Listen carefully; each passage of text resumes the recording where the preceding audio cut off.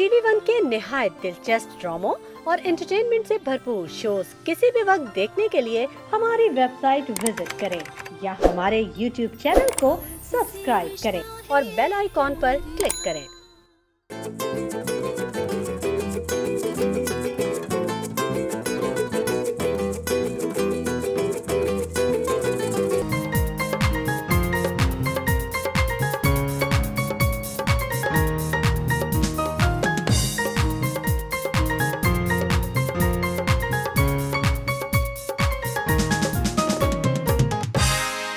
अस्सलाम वालेकुम खवतिन और हज़रात very good morning to all of you आप सबको द मॉर्निंग स्टार में खुश आमदेद करते हैं। और आज का दिन हम डेडिकेट कर रहे हैं तमाम उन लोगों को जिनकी आपसे तकरीबन कोई डेढ़ दो माह से कोई बातचीत नहीं हुई है और भाई क्यों नहीं हुई, इसके बारे में आज ही आप जाँच करेंगे, क्योंकि बहुत सारे ऐसे रिश्ते होते हैं जिनको रोज़ाना एक पौधे की तरह पानी देने की ज़रूरत होती है और कुछ ऐसे रिश्ते होते हैं जिनको कभी कभार आप पानी दें तो भी वो सर्वाइव कर पाते हैं, लेकिन कोई भी पौधा, कोई भी रिश्ता, ऐसा नहीं होता कि अगर आपने उसको वक्त ना दिया, पानी ना दिया तो वो सर्वाइव कर पाएगा। कभी ना कभी थोड़ी बहुत मोहब्बत, थोड़ा बहुत केयर हर रिश्ते को देना चाहिए। मैं बहुत सारे इस तरह के बहन भाइयों को जानता हूँ जो कि ऑफकोर्स बहन भाई हैं। एक अल्लाह ताला की तरफ़ से उनको ये खूबसूरत रिश्ता मिला है, लेकिन आपस में बातचीत बहुत कम होती है। इसकी क्या वजह है? अगर इसकी कोई वजह है तो वो वजह आज आपने सॉल्व करनी है, इंतज़ार नहीं करना कि वहाँ से कॉल आएगा। तो मैं दिल साफ़ करके बात करूँगा। दिल अपना साफ़ आप खुद कीजिए। अल्लाह ताला का घर है दिल। और आप सोचिए कि आप उस दिल को, उस घर को आप ख़राब रख सकते हैं, हरगिज़ नहीं। आपको अपना दिल साफ़ करना है और कोई भी ऐसा रिश्ता हो, कोई टीचर हो, कोई दोस्त हो, कोई कॉलीग हो, या कोई भी रिश्तेदार हो, बहुत सारे इस तरह के भी बेवकूफ़ लोग होते हैं जो कि अपने वालदेन से नाराज़ रहते हैं। वालदेन से नाराज़ रहना मुझे लगता है बेवकूफ़ी की इंतहा है। मेरे साथ मेरे वालदेन ने नाजायज़ किया, उन्होंने मेरे साथ बड़ी ज़्यादती की। ऐसा हो नहीं सकता, माँ बाप हमेशा अपनी औलाद का बहुत अच्छा चाहते हैं। आप भी और ये बात मुझे इतनी अच्छी तरह से समझ आती कि जब वालदेन कहते हैं ना कि भाई जब तुम लोग पेरेंट्स बनोगे तो तुम लोग ये समझोगे और वाकई में जब आप लोग वालदेन खुद बनेंगे तो आपको समझ आएगी कि ये जो बॉन्ड है, ये जो रिश्ता एक अटूट रिश्ता होता है इसके अंदर इतना ज़्यादा एक एक गिविंग की फीलिंग ही रहती है। आपको कभी अपनी औलाद से कुछ चाहिए नहीं होता सिवाय सिंसेरिटी की और आपको पता है जब वालदेन की उम्र एक हद से ज़्यादा बढ़ जाती है तो उन्हें आपके वक्त की, आपकी मोहब्बत की बहुत ज़रूरत होती है। तो अगर कोई अपने वालदेन से नाराज़ है प्लीज़ वो नाराज़गी आज ही सॉल्व करके ख़त्म करें, बात करें, क्योंकि देखिए कम्युनिकेशन जो है, जो बातचीत है, वो जंगे सॉल्व करा देती है। और कोई भी ऐसा कॉन्फ्लिक्ट कोई भी ऐसी नाराज़गी इतनी बड़ी नहीं होती कि उसके ऊपर आप साल साल महीना दर महीना, हफ़्ता दर हफ़्ता बात ही ना करें, एक कम्युनिकेशन ना करें। आपको पता है, मरते दम तक, मैं आपको एक बात बताऊँ, आप लोगों को जो एक साय के तौर पर चीज़ आपके साथ रहती है, वो वालदेन की दुआएँ हैं। चाहे आपकी जो भी उम्र हो, चाहे आप कुछ भी कर लें, वालदेन की जो दुआएँ, वो हमेशा एक प्रोटेक्शन की तरह, एक शील्ड की तरह आपके इर्द गिर्द रहती है। तो अगर आपने अपने वालदेन से कोई नाराज़गी है, बातचीत बंद है, या मेरी अम्मी मुझे नहीं समझती, आप उनको समझाएँ, और कभी कभी मैं आपको बताऊँ, कुछ चीज़ें वालदेन नहीं समझते तो उनको समझाने की भी नहीं ज़रूरत। आप उनसे एक अच्छा रिश्ता मेंटेन करें, एक दोस्तों का रिश्ता मेंटेन करें, जिस तरह किसी कोलीग से होगा, लेकिन रिश्ता ख़राब मत करें। उनके साथ आप एक अच्छे तरीके से रहें, एक अच्छा वक्त गुजारें, क्योंकि मैं आपको बताऊँ, मैं इस तरह के इतने लोगों को जानता हूँ जो इस नाराज़गी के अंदर जी रहे थे और अल्लाह ताला ने वालदेन वापस बुला लिए और फिर वो रिग्रेट वो एक रिग्रेट जो है, वो सारी ज़िंदगी का दिल में खलिश है, वो रह जाती है। तो अल्लाह ताला किसी को भी इस खलिश से ना गुजारे। अपने कोई भी रिश्ते हो, बहन भाई हो, दोस्त हो, वालदेन हो, कोई कोलीग्स हो टीचर्स हो, पड़ोसी हो, किसी से आपका कभी भी कोई कॉन्फ्लिक्ट हो, कोई बातचीत नहीं बनी हो, ना रही हो, बहुत दिन से बात नहीं की हो, आज का वो दिन है कि आप बिला झिझक कॉल कीजिए, दिल बड़ा कीजिए, एक मैग्नीट्यूड अपने अंदर लेकर आइए बड़ापन लाइए। कॉल कीजिए कि यार मेरी तरफ़ से मेरा दिल साफ़ है सारी नाराज़गियाँ ख़त्म है। बताओ, खाने पर कब आ रहे हो? है, कितना अच्छा लगेगा, देखें। एक अच्छा महसूस होता है जब आप किसी को खाने पे बुलाते हैं, लेकिन हमसे तो लोग वादा करते हैं, हमें बुलाते नहीं खाने पे।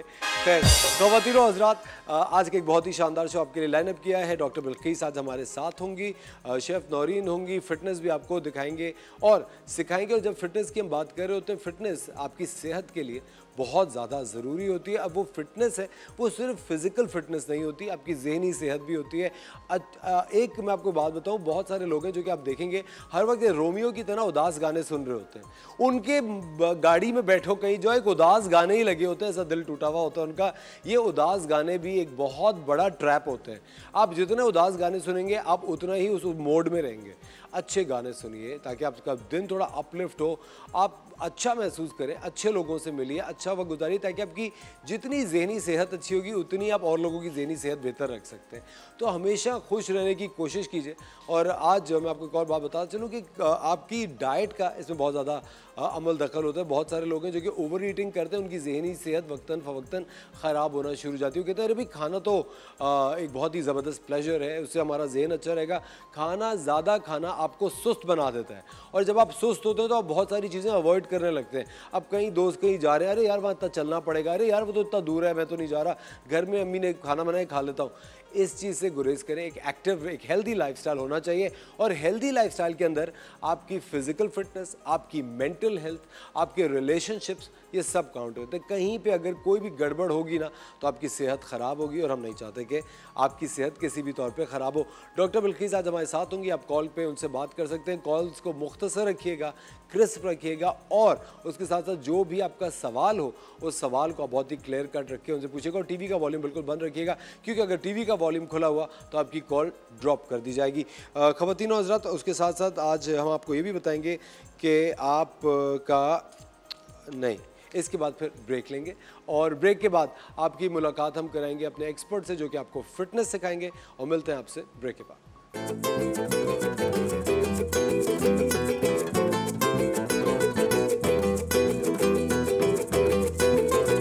अस्सलाम वालेकुम। कैसे हैं आप लोग? ठीक हैं? मैं हूँ सामा इरफान। और ये देखें चेयर सभी लोग बैठते हैं और ऑफ़िस में काम सभी करते हैं, ठीक है? जो जो ऑफ़िस में बैठे हुए हैं, आज देख लें, गौर से देख लें कि कोई एक्सक्यूज़ एक्सक्यूज़ नहीं चलेगा कि मुझे जो है बहुत काम है, मैं अपने आप को तवज्जो नहीं दे सकती है, मेरे पास टाइम नहीं है, मैं एक्सरसाइज नहीं कर सकता या नहीं कर सकती। तो ये देखिए, मैं भी आज करके दिखाऊँगी।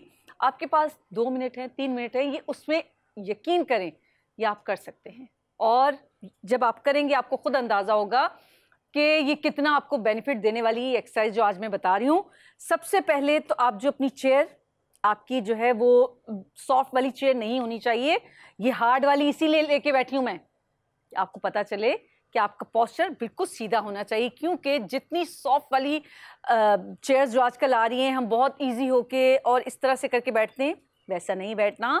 आपने बिल्कुल अलर्ट होके बैठना है इस तरह से, ताकि आपकी बैक फुल स्ट्रेट रहे और अगर बैक स्ट्रेट नहीं है, कोई मसला नहीं है, हम कोई कुशन कोई ऐसी चीज़ जो हार्ड हो, आप पीछे रख के और बैठिए। इवन जब आप ड्राइविंग भी करते हैं तो भी अपनी सीट को बिल्कुल सीधा करके बैठे, ताकि आपकी बैक स्ट्रेट हो और आपका बैक का पेन ना हो और आपका पोस्चर सही रहे। तो हमने क्या करना है कि अपने पोस्चर को सही रखते हुए कुछ ऐसी आसान सान एक्सरसाइज कि जो आपको बहुत एनर्जेटिक कर दे, क्योंकि बाज़ात ऐसे ही होता है कि हम जो है काम करते करते इतने फेडअप हो चुके होते हैं कि हमें हमारा दिल नहीं लग रहा होता, हम काम नहीं कर पाते और मज़ा नहीं आता काम करने में। काम तो करते हैं लेकिन मज़ा नहीं आता। तो हम उस जो है एक्टिव करने के लिए और उस मज़े के लिए क्या करेंगे, हम कुछ एक्सरसाइज बताएँगे। पानी तो सभी पीते हैं, ठीक है? आज भी हम पानी ही की बॉटल्स यूज़ करें आप जो रोज़ पीते हैं आप उसको अपनी एक्सरसाइज के लिए कैसे इस्तेमाल करें? एक तो मैंने बताया था ये वाली ये वाली एक्सरसाइज ये वाली एक्सरसाइज ठीक है? और ये खातन के लिए, हजरात के लिए, दोनों के लिए अच्छी है। ये नहीं कहना चाहिए कि सिर्फ़ खातन करें। ये जी जनाब, जो हजरात बैठे हुए ना, वो भी ज़रूर करें, ठीक है? क्योंकि एक्टिव तो हर किसी को चाहिए ना एक्टिव होना तो हर कोई चाहता है ना कि एक्टिव हो, लेकिन उसके लिए क्या है? थोड़ी सी मेहनत करनी पड़ेगी। तो ये थोड़ी सी मेहनत कर लें। आप इसको टेन की काउंटिंग से कर सकते हैं, थर्टी सेकेंड के लिए कर सकते हैं। आप टाइम नोट कीजिएगा, सिर्फ़ अपने आप को फाइव मिनट दीजिएगा। फाइव मिनट सुबह, फाइव फाइव मिनट्स दोपहर में और फाइव मिनट्स शाम में। तो कितने? फिफ्टीन मिनट्स हो गए। तो फिफ्टीन मिनट दिन में आप कभी भी अपने आप को दे सकते हैं, ठीक है? ये देखिए, ये ये full stretch full stretch full stretch लेकिन सामने देखिए, कोई बैठा ना हो, ख्याल से, ठीक है? तो अपने आप को हमने एक्टिव करना है, ना कि हमने दूसरे सामने वाले को जो है तकलीफ़ देनी है। तो हम इसको क्या करेंगे? हम इसको फुल स्ट्रेच करते हुए इस तरह से अप एंड डाउन करेंगे और फिर इस तरह से, ये और ये ये ये ये भी करेंगे और इसको भी हमने टेन की काउंटिंग से कर लेना है थर्टी सेकेंड के लिए कर लेना है तो दोनों सूरतों में आप कर सकते हैं, जैसे भी। ठीक है, इसी तरह से हमने क्या करना है? दोनों हाथ ऐसे रखने हैं इसको और आहिस्ता आहिस्ता, जितने स्लो मोशन में ये लेके जाएँगे साइड में, आपको उतना ये फ़ायदा देगी। ठीक है? ये ये और स्लोली स्लोली इसको हम तेज करते जाएँगे। One two three four five six seven eight nine and ten. आपको लगेगा आप जिम में आए हुए हैं, लेकिन आप ऑफ़िस में बैठे हैं, ठीक है? आप देखिएगा कि जब ये आप एक्सरसाइज कर रहे होंगे, यकीन करें, उसी वक्त आपकी एनर्जी इतनी बूस्ट हो जाएगी कि आपके बॉस कहेंगे, आज क्या हो गया भैया? आज तो बहुत अच्छा आप काम कर रहे हैं। तो आप चाहते हैं ना कि अपने आप को एक्टिव करना, अपने आप को सेहतमंद रखना चाहते हैं तो ये प्लीज़ ये एक्सरसाइज कीजिए और मेरे साथ रहिए। जो जो मैं एक्सरसाइज बता रही हूँ, वो मेरे साथ कीजिए। अब मैं इसको नीचे रखती हूँ, इस तरह से और एक और एक्सरसाइज बताती हूँ, बल्कि एक क्यों? दो बताती हूँ। कैसे? ऐसे बैठ जाइए, ठीक है?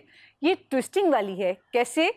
और बहुत मज़े की है। ये उन लोगों के लिए कि जो बहुत, जिन लोगों का ब्लड सर्कुलेशन जो है सही नहीं होता किडनी का थोड़ा सा इशू होता है, और या उनके जो है बॉडी डिटॉक्सिफाई करना चाहते हैं तो उनके लिए बहुत अच्छी एक्सरसाइज है। नी को मैंने एक लेग को दूसरी लेग के ऊपर रखा। इस तरह से बैंड किया और मैंने ऑपोजिट साइड वाला हाथ यहाँ पे रख दिया। ठीक है? और राइट वाला हाथ मैंने क्या किया? इसके चेयर के पीछे ऐसे रख दिया मैंने। ठीक है? आ रहा नज़र? आ रहा है? ठीक है। अब मैं पीछे अपने आपको फुल पीछे जाके मैं इस तरह से देख रही हूँ, पीछे और थोड़ा सा फेस को ऊपर कर रही हूँ। इससे क्या होगा? इससे क्या होगा कि आपकी बॉडी फुल ट्विस्ट होगी और जब आपकी बॉडी ट्विस्ट होगी तो आपके जितने साइड्स के ऑर्गन्स हैं, वो एक्टिव होंगे और खासतौर से किडनीज जब किडनी जो है एक्टिव होगी तो उससे क्या होगा? आपकी बॉडी डिटॉक्सिफाई होगी और आपका कलर भी बहुत फेयर हो जाएगा। चाहते हैं अपने कलर को फेयर करना? और एक एक्सरसाइज की यकीन करें, इतने फ़ायदे हैं, जब आप लोग कर रहे होंगे, आपको खुद अंदाज़ा होगा कि ये कितनी मज़े मज़े एक्सरसाइज और बहुत इजी जो आप ऑफ़िस में बैठे हुए करेंगे। तो ये देखिए ये मैंने पीछे अपने सर को किया ये फुल बॉडी को ट्विस्ट करते पीछे देखा मैंने और फेस को थोड़ा सा ऊपर किया। ये देखिए। और मेरी फुल बॉडी इसमें इन्वॉल्व है। कैसे? आपके थाइस आपकी लेग्स आपकी होल बॉडी और आपकी साइड्स के मसल्स uh, और आपका फेस आपकी नेक आपकी फुल बॉडी आपकी इन्वॉल्व हो रही है। ये इतनी मज़े की एक्सरसाइज है और यकीन करें कभी ऐसा होता है आप खाना खाते हैं लेट नाइट शादियों से आते हैं, आपका खाना हजम नहीं हो रहा होता और आपको लग रहा है खाना जैसे यहाँ पे है। तो ये एक्सरसाइज जो भी मैंने ये ट्विस्टिंग वाली एक्सरसाइज बताई है, ये आप दो से तीन बार करेंगे तो आपको खुद अंदाज़ा होगा कि आपका खाना कैसे आपका जो है जो है आपका हजम हो रहा है और किस तरह से आप अपने खाने को जो है, आप अपने पेट को हल्का फील करेंगे? क्योंकि जब भारीपन होता है तो आपका पेट इतना जो है वो टाइट हो जाता है और यहाँ पे बहुत भारीपन लगता है। हार्ट बर्निंग जिसे कहते हैं, वो हो रही होती है। तो यकीन करें, जब आप ये वाला पोस्ट करेंगे दो से तीन बार, एक तो आपके बॉडी डिटॉक्सिफाई होगी, आपका जो है, ये आपका खाना जल्दी हजम होगा मेटाबॉलिक रेट हाई होगा, आपकी किडनी बेहतर काम करेंगी और जब किडनी बेहतर काम करती है तो आपका कलर बहुत अच्छा होता है। तो ये देखिए, एक ही पोज के इतने फ़ायदे और वो भी ऑफ़िस में बैठ के। एक तो बॉस भी बहुत खुश होंगे, आपकी हेल्थ भी अच्छी रहेगी और आपको फ़ायदे भी होने वाली है। ये मज़े की चीज़ है कि नहीं? और आई होप कि आपको अच्छा लगेगा और ये करते रहेंगे और जितना ये करेंगे, मेरे साथ रहेंगे, उतना आपको फ़ायदा होने वाला है। और बस देखते रहिएगा इसी तरह से मेरी और videos. Thank you so much अल्लाह हाफिज़।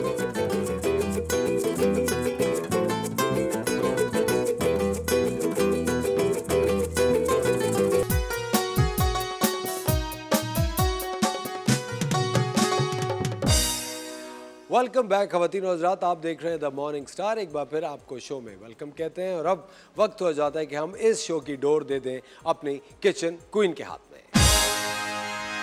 Thank you for so very much आज जो हम बनाने जा रहे हैं वो है कुरकुरी भिंडी। ठीक है? लेडी फिंगर जो बिल्कुल हमारी खूबसूरत उंगलियों की तरह फिंगर्स की तरह लेडी फिंगर्स होती हैं तो वो हम बनाने जा रहे हैं भिंडी। आज क्योंकि कुरकुरी बनती है, बहुत मज़े की बनती है। और गर्मियों में तो ये बहुत अच्छी लगती है। कोई दाल के साथ खाते हैं कोई इसकी सिर्फ़ भिंडी की सब्ज़ी बनती है। तो मैंने कहा चले बहुत मेरे पास पेज पे आ, लोगों के आ, वो आ रहे थे कि प्लीज़ शेफ़ कोई हमें सब्ज़ियाँ बनाना सिखा दें थोड़ी सी लाइक क्रिस्पी हो क्रंची हो फ्राइड उसमें ना तो भिंडी बनाना सिखा दें। अच्छा मैं आपको एक और बात बताती चलूँ। ये जो भिंडी थी मैंने सबसे पहले कुछ लोग कहते हैं कि काटने के बाद लोग धोते हैं वो बहुत गलत करते हैं।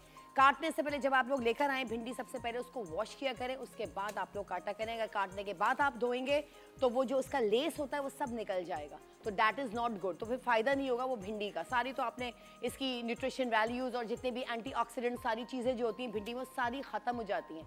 सारे वाइटामिन ख़त्म हो जाते हैं तो सबसे पहले सब्ज़ी को पहले धो लिया करें स्पेशली इस तरह की सब्जियों को जिसमें लेस होता है।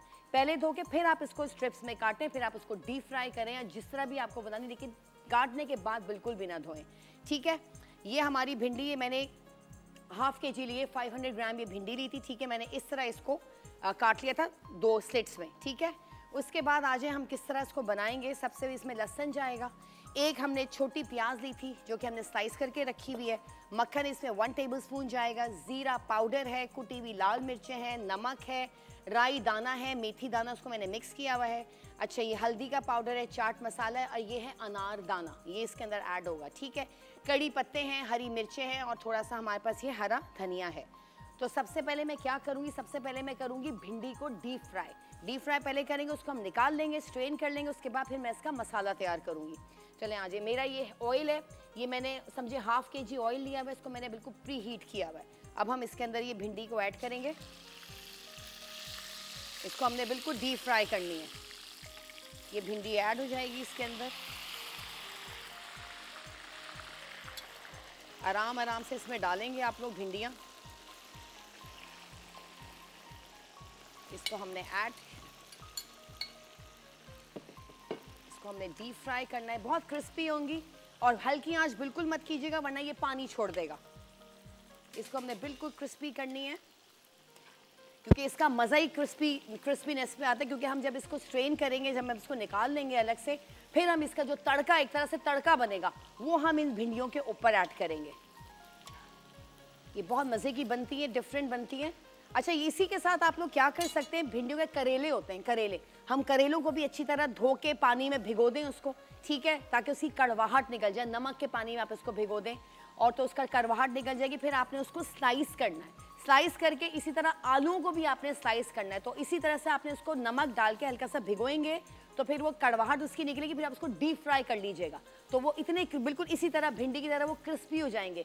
उसको डीप फ्राई करके निकालें, आलू के चिप्स काट लें, जैसे फ्रेंच फ्राइज होते हैं, उसको आप डीप फ्राई करके निकालें, फिर उसके बाद आप इसका तड़का बनाइएगा। तड़का इसी तरह बनेगा जैसे मैं भिंडी के साथ बनाऊँगी। आपने डीप फ्राई कर लिया आलू को भी और उसको भी। करेले को भी, क्योंकि कड़वे होते हैं, लेकिन वो नमक के पानी भिगोएँगे वो कड़वापन थोड़ा बहुत तो रहता है, वो भी फ़ायदेमंद है आपकी हेल्थ के लिए। हर चीज़ में, हर सब्ज़ी में कुछ ना कुछ फ़ायदे हैं। तो अगर थोड़ा सा कड़वा भी है तो कोई मसला नहीं, वो क्रिस्पी होंगे पता भी नहीं चलेगा, वो कटर कटर वाली क्रिस्पीनेस आएगी।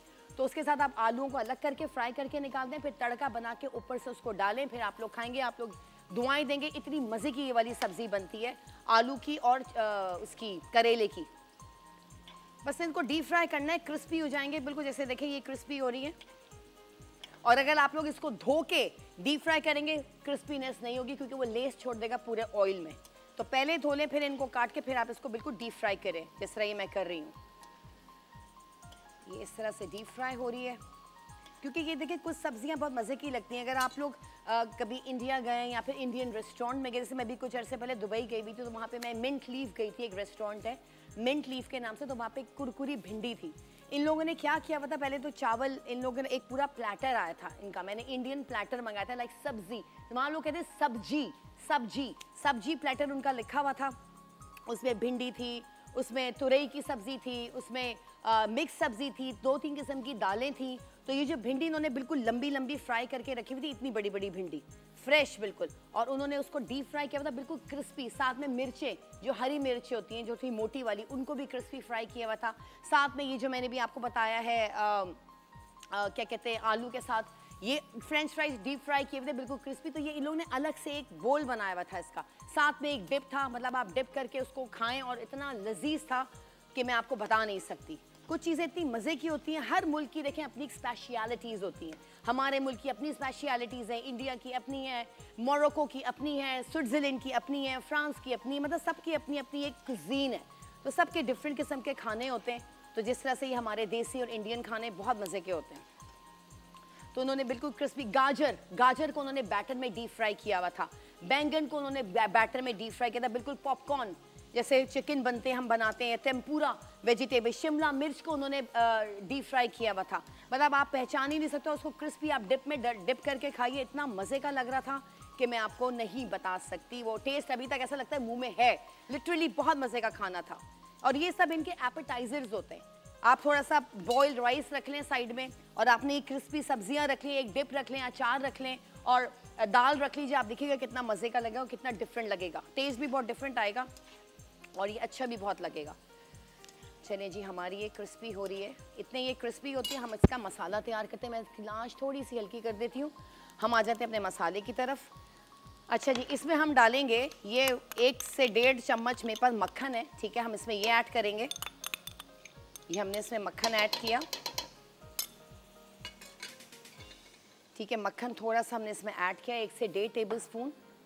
हम इधर ये भिंडियों को भी देखते हैं फिर मैं इसमें से इसका थोड़ा सा ऑयल निकाल के मैं इसमें ऐड करूँगी ताकि बटर एंड ऑयल का बहुत अच्छा अरोमा आता है। ये हमारा हो गया इस तरीके से। Um, ये हमारा बटर मेल्ट हो गया है। अच्छा थोड़ा सा मैं इसमें से ऑयल इसके अंदर ऐड करूँगी। इस तरीके से। इस तरह से ये ऑयल ऐड हुआ। अच्छा ये प्याज मैंने एक स्लाइस करके रखी थी, ये इसके अंदर हम ऐड करेंगे, ठीक है? और हमने इसको फ्राई करना है।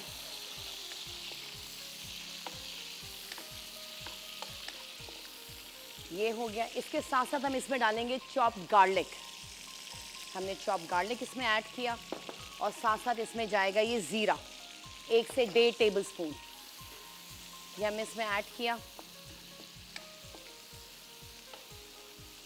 चलिए हम इतने आ जाते हैं अपनी भिंडी की देखें कितनी क्रिस्पी फ्राई हो गई आप लोग देख सकते हैं। ये कितनी क्रिस्पी हो गई है बहुत मज़ेदार जिसे कहते हैं। अच्छा अब हम इसका जो है ना फ्लेम थोड़ा सा थोड़ा तेज़ करेंगे फिर हम इसको आम, वो करेंगे स्ट्रेन करेंगे। मेरा प्लीज़ मुझे स्पाइडर ला दीजिए ताकि मैं ये स्ट्रेन कर लूँ। चलिए जी हमारी प्याज ये ब्राउन हो रही है लहसुन ज़ीरे के साथ। हम इसका चूल्हा बंद कर देते हैं। और ये आ गया स्पाइडर चले जी, इसको भिंडी को हम निकाल लेते हैं। देखें, इस तरह की क्रिस्पी फ्राई हो गई है ये। हम इसमें निकालेंगे इस भिंडी को।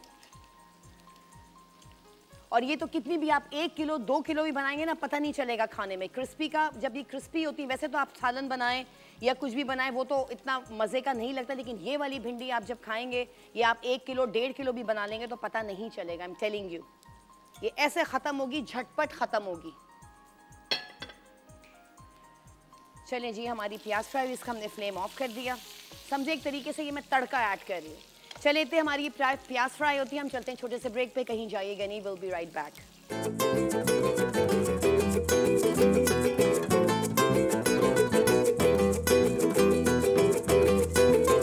चलिए जी वेलकम बैक ब्रेक पे जाने से पहले मैंने इसमें प्याज, लहसन ऐड किया, ज़ीरा ऐड किया।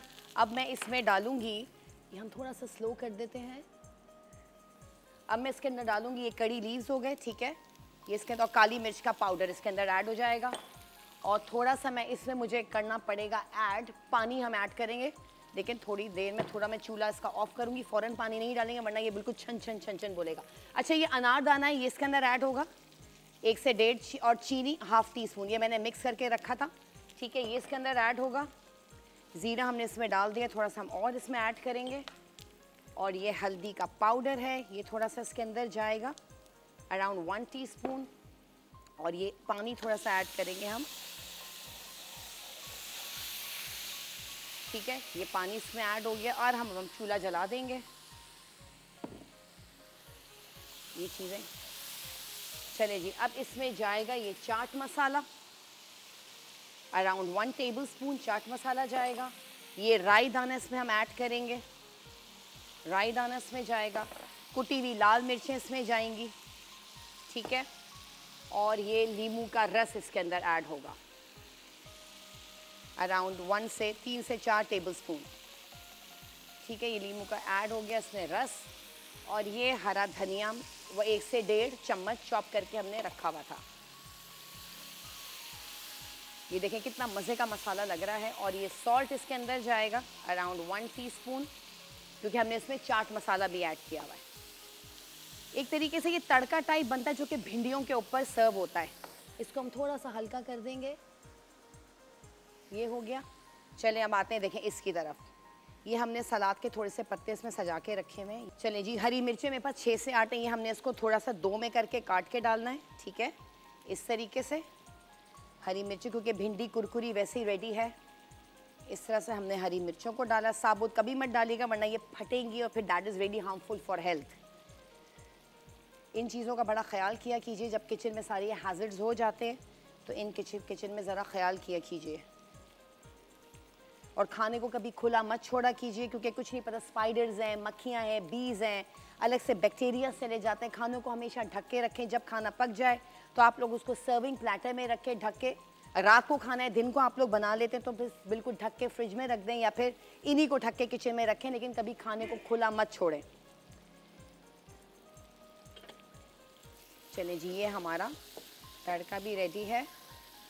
देखें कितना अच्छा लग रहा है, उसकी खुशबू बहुत अच्छी आ रही है। और आप लोग चाहें तो उसमें इमली का पल्प ऐड कर सकते हैं instead of adding lemon lemon juice नहीं ऐड करना तो आप लोग ये ऐड कर सकते हैं।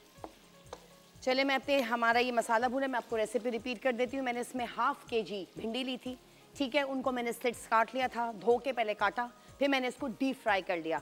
डीप फ्राई करने के बाद मैंने इसको डीप फ्राई करके निकाल दिया ये आपके सामने ही है। फिर मैंने वो लिया उसमें मैंने ऑयल डाला बटर डाला गार्लिक डाला सा, आपका साब वो ज़ीरा डाला हरी मिर्चें डाली अनारदाना मैंने इसमें ऐड किया।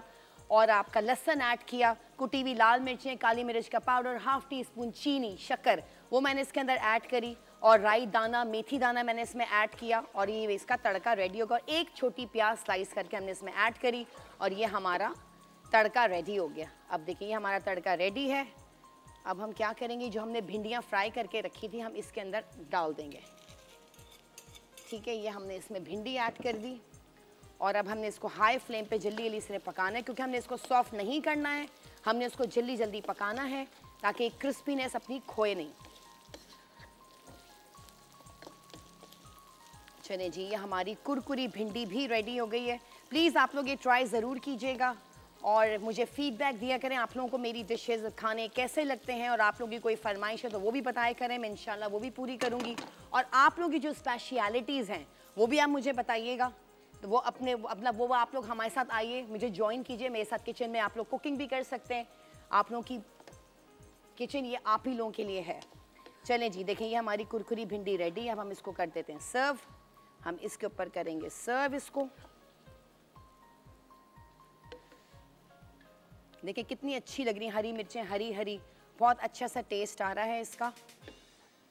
लग रहा है बहुत मज़े का होगा, क्योंकि आई कैचिंग तो बहुत लग रहा है। ये हमारी कुरकुरी भिंडी रेडी है। अच्छा मैं तो उसको ऐसे ही खाती हूँ, थोड़ा सा रायता ले लें, दही का रायता बना लीजिए, उसके साथ डिप करके खा लीजिए। और या फिर चावल के साथ खा लीजिए ब्रेड के साथ खा लीजिए, रोटी के साथ खा लीजिए, हर चीज़, हर एक के साथ ये बहुत मज़े की लगेगी।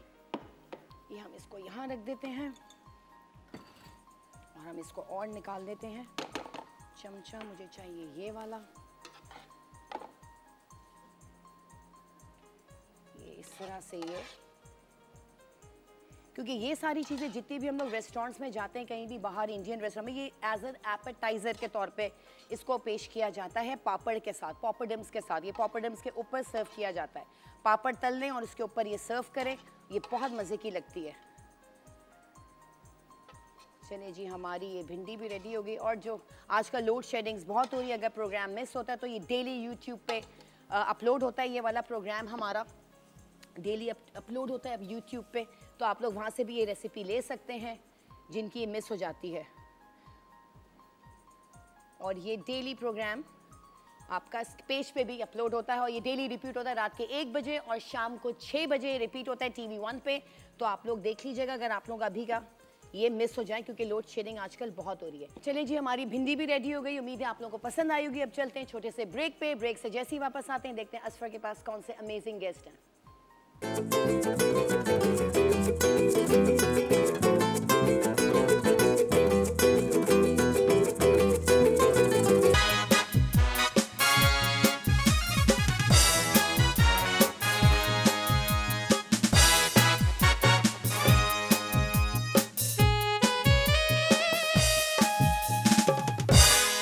वेलकम बैक खवतिन हजरात आप देख रहे हैं द मॉर्निंग स्टार एक बार फिर आपको शो में वेलकम कहते हैं। हमें ज्वाइन किया है आप सबकी फेवरेट डॉक्टर बिल्किस ने। डॉक्टर साहब वालेकुम डॉक्टर साहब बहुत शुक्रिया आपने हमारे शो के लिए वक्त निकाला आज। बहुत शुक्रिया आपने बुलाया। अच्छा। डॉक्टर साहब हमसे मुजम्मिल साहब ने पूछा है कराची से एक इनका बड़ा ही फिक्रमंद सवाल है।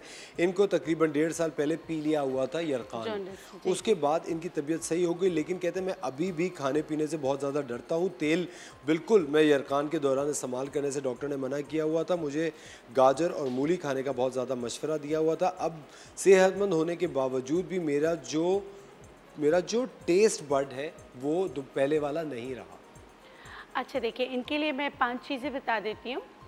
इसको हम लोग कहते हैं जिगर सफूफ, यानी कि जिगर की ज़िंदगी के लिए। अच्छा ये मैंने हकीम आगा से सीखा था और मैंने सबको बताया, बहुत फ़र्क पड़ता है। गुलाब की ताज़ा पत्तियाँ लेके ख़ुद आपने सुखाना है। बाज़ार से गुलाब की पत्तियाँ नहीं लेना। गुलाब की पत्तियाँ, सौंफ, मक्को, कांसनी, ऊँट कटारा, ये पाँच चीज़ें हम वज़न पीस कर पाउडर बनाकर रख लीजिए। इसमें से एक चम्मच पहले आप कप में डालिए, खूब खोलता गर्म पानी डालिए। इसको थोड़ा इन्फ्यूज़ होने दीजिए। ये आप पीजिए सुबह शाम। जिगर के तमाम अमराज में बहुत अच्छा है हेपेटाइटिस ए बी सी में भी अपनी अद्वियात के साथ आप ले सकते हैं।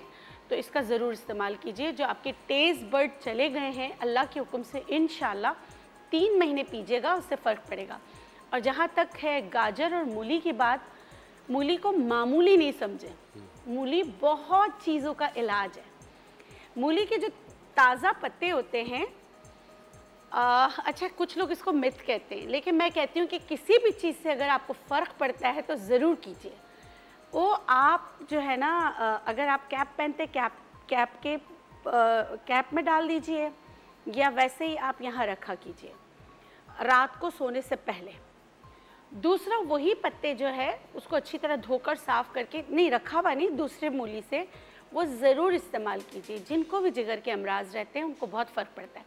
एक और चीज़ कि मूली का जैसे वो करके ना, कद्दूकश करके, अपनी जिगर की तरफ़ रात को बाँध दीजिए। सुबह उठेंगे तो आप देखेंगे कि वो जो कद्दूकश करके आपने बांधा है, वो पीला पीला सा हो गया होगा। तो वो फेंक फेंक दीजिए जब तक मूली का सीज़न हो ये वाला अमल जिनको भी हेपेटाइटिस ए बी सी कुछ भी है कोई भी जिगर के अमराज है इवन फैटी लीवर है वो भी कीजिए उनको बहुत फ़र्क पड़ेगा।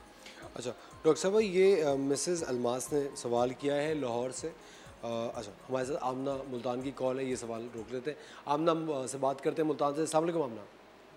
वालेकुम सलाम। जी मैंने डॉक्टर बल्कि से बात करनी है। जी जी बात कीजिए। जी अस्सलाम वालेकुम वालेकुम सलाम। डॉक्टर साहब मेरा मसला है कि मुझे बहुत ज़्यादा लकोरिया है जिसमें में बहुत ज़्यादा दर्द रहता है खास करके हड्डियों में। क्या होता है? हड्डियों में बहुत दर्द रहता है बहुत ज़्यादा लकोरिया भी है अच्छा लिकोरिया बहुत ज़्यादा है। ठीक है मतलब अ, जी लिकोरिया का आपने मुझे ये बताया था कौन कतीरा और मिस्री वाला टोटका ये भी मैंने इस्तेमाल किया है मगर इससे भी कोई फ़ायदा नहीं हुआ। अच्छा ठीक है। कितनी दफ़ा किया? कितना अरसा किया? तकरीबन एक माह तक। एक माह में कोई फ़ायदा नहीं होगा। आपने छः महीने तक इस्तेमाल करना है। उसके साथ आपने क्या करना है? भुने चने खाने हैं नारियल का पानी पीना है या नारियल का इस्तेमाल करना है। कैल्शियम ज़्यादा जैसे दूध हल्दी वाला दूध पीजिए। कुछ लोग बोलेंगे वो गर्म होता है अगर अभी लिकोरिया है तो कैसे इस्तेमाल करें? आप इस्तेमाल कीजिए, आपको फ़र्क पड़ेगा। आपको सलाजीत का इस्तेमाल करना है, उससे भी फ़र्क पड़ेगा। वो हाई सोर्स ऑफ़ मिनरल्स है, ठीक है? जो आपके जिस्मानी दर्दें हैं, उससे फ़र्क पड़ेगा। और अपना वाइटामिन डी थ्री भी चेक करवाइए, ठीक है? इन इन अद्वियात के साथ वो भी चेक कराइए और किसी बहुत अच्छी कंपनी का शरबत फौलाद भी पीजिए। तो अल्लाह के हुक्म से फ़र्क पड़ेगा, कोई ये जो लिकोरिया वाला टोटका है ना, ये दीमक की तरह ख़वातीन को खा जाता है। और ख़वातीन क्या करती है? पंद्रह दिन करती हैं, वो कहती हैं कि नहीं, बस अब सही हो जाना चाहिए, नहीं तो या एक महीना। आपको कम अज़ कम कम अज़ कम जो है ना छः महीने से साल तक करना है। अल्लाह के हुक्म से इन फ़र्क पड़ेगा। उसके साथ आपको परहेज़ करना है। आपने चीनी और चीनी से बनी हुई चीज़ें नहीं खानी है। बिल्कुल नहीं खानी तो बहुत ज़्यादा फ़र्क पड़ेगा। और रात को जो है ना, अगर देसी मुर्गी आप इस्तेमाल करते हैं, ठीक है, रात को मुर्गी और चावल, ये दो चीज़ें नहीं खानी तो इन फ़र्क पड़ेगा। अच्छा डॉक्टर साहब भाई, ये मिसेस अलमास ने सवाल पूछा है, इस्लामाबाद से इनके बच्चा है कि नहीं? मेरा बेटा है, जिसकी उम्र तकरीबन साढ़े तीन साल है, वो कभी भी खेलने के लिए बाहर जाता है तो मिट्टी खा के आ जाता है, जिसकी वजह से उसका स्टमक अपसेट है। जी, पाइका बीमारी है जिसमें जो चीज़ आपके अंदर नहीं होती ना, वो चीज़ आप कुदरत से लेते हैं। आप अपने बच्चे का कैल्शियम चेक कराएँ और उसको कलौजी शहद में मिला के सुबह खाली पेट दीजिए। सही है, लौंग का पानी दीजिए। कुछ बच्चे होते हैं, इसकी बहुत सारे रीज़न्स होते हैं। साइकोलॉजिकली भी बच्चे क्या करते हैं कि वो डरे हुए होते हैं, खौफ में होते हैं, माँ का जो है ना, दुपट्टा चूसते हैं। कुछ माएँ जो है उनको बचपन से आदत डाल देती है अपने बालों पे बालों से खेलने की। और वो फिर बाल खाना शुरू कर देते हैं। कुछ लोग क्या करते हैं कि दीवारों पे जाकर ना जो आपका पेंट होता है वो निकाल के खाते हैं। कुछ बच्चे मिट्टी खाते हैं। चौक खाते हैं चौक खाते हैं। मिट्टी खाना चौक खाना ये इंडिकेट करता है कि आपके बच्चे में कैल्शियम कैल्शियम आयरन की कमी है। तो होम्योपैथिक में भी कैल्शियम कार्ब फॉस्फोरस बहुत सारी अद्वियात आती हैं जो दी जाती हैं जो बच्चे में मिट्टी खाने की आदत होती है। तो अभी जो जितनी चीज़ें मैंने बताई है वो आप कीजिए। अच्छा वो कोई दो दिन तीन दिन नहीं कीजिएगा बच्चे को कम अज़ कम महीने भर दीजिएगा। इन उनको फ़र्क पड़ेगा। अच्छा हमारे साथ दुर्र हसन की कॉल है शेखपुरा से। जी अलैक्म दुर्र हसन। वालेकुम अस्सलाम। जी क्या सवाल? कैसे आप? अल्लाह का शुक्र thank you very much doctor साहबा से क्या सवाल है आपका? जी मेरा डॉक्टर साहबा से ये सवाल है कि मेरे मुँह पे ना बहुत ज़्यादा छाइयाँ है। तो इनका कोई हल बता दो। इतनी सारी क्रीमें भी लगाई है मेडिसिन भी ली है, पर ये काम नहीं हो रही। अच्छा बेटा, देखिए, छाइयों का इलाज तो मैं हमेशा कहती हूँ कि भाई, बहुत बड़े बड़े मसाइल हल हो सकते हैं। पानी का मसला दुनिया में हल हो सकता है।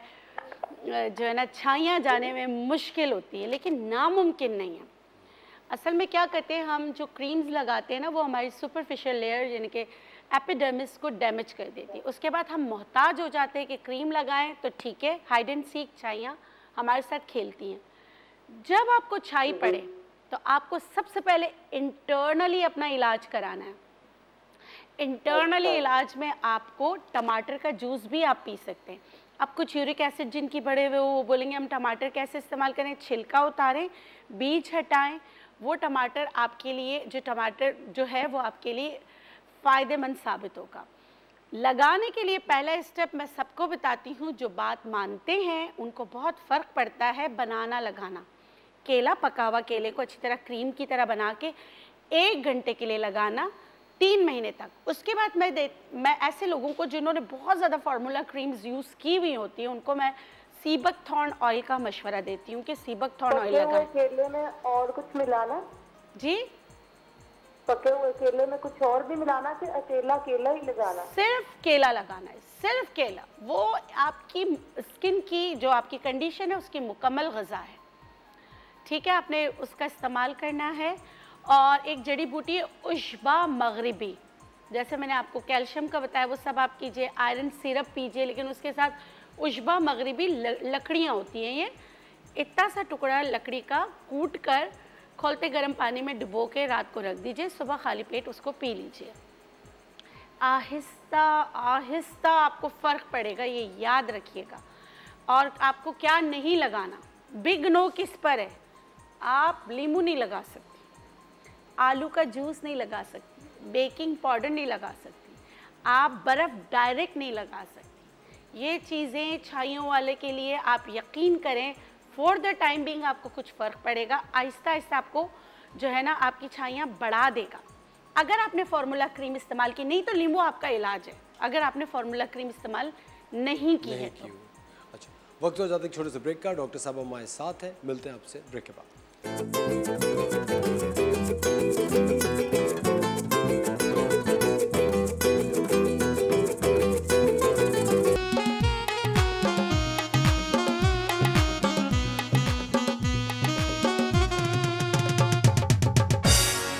वेलकम बैक खवतिन हजरात आप देख रहे हैं द मॉर्निंग स्टार एक बार फिर आपको शो में वेलकम कहते हैं डॉक्टर बिल्किस हमारे साथ मौजूद है।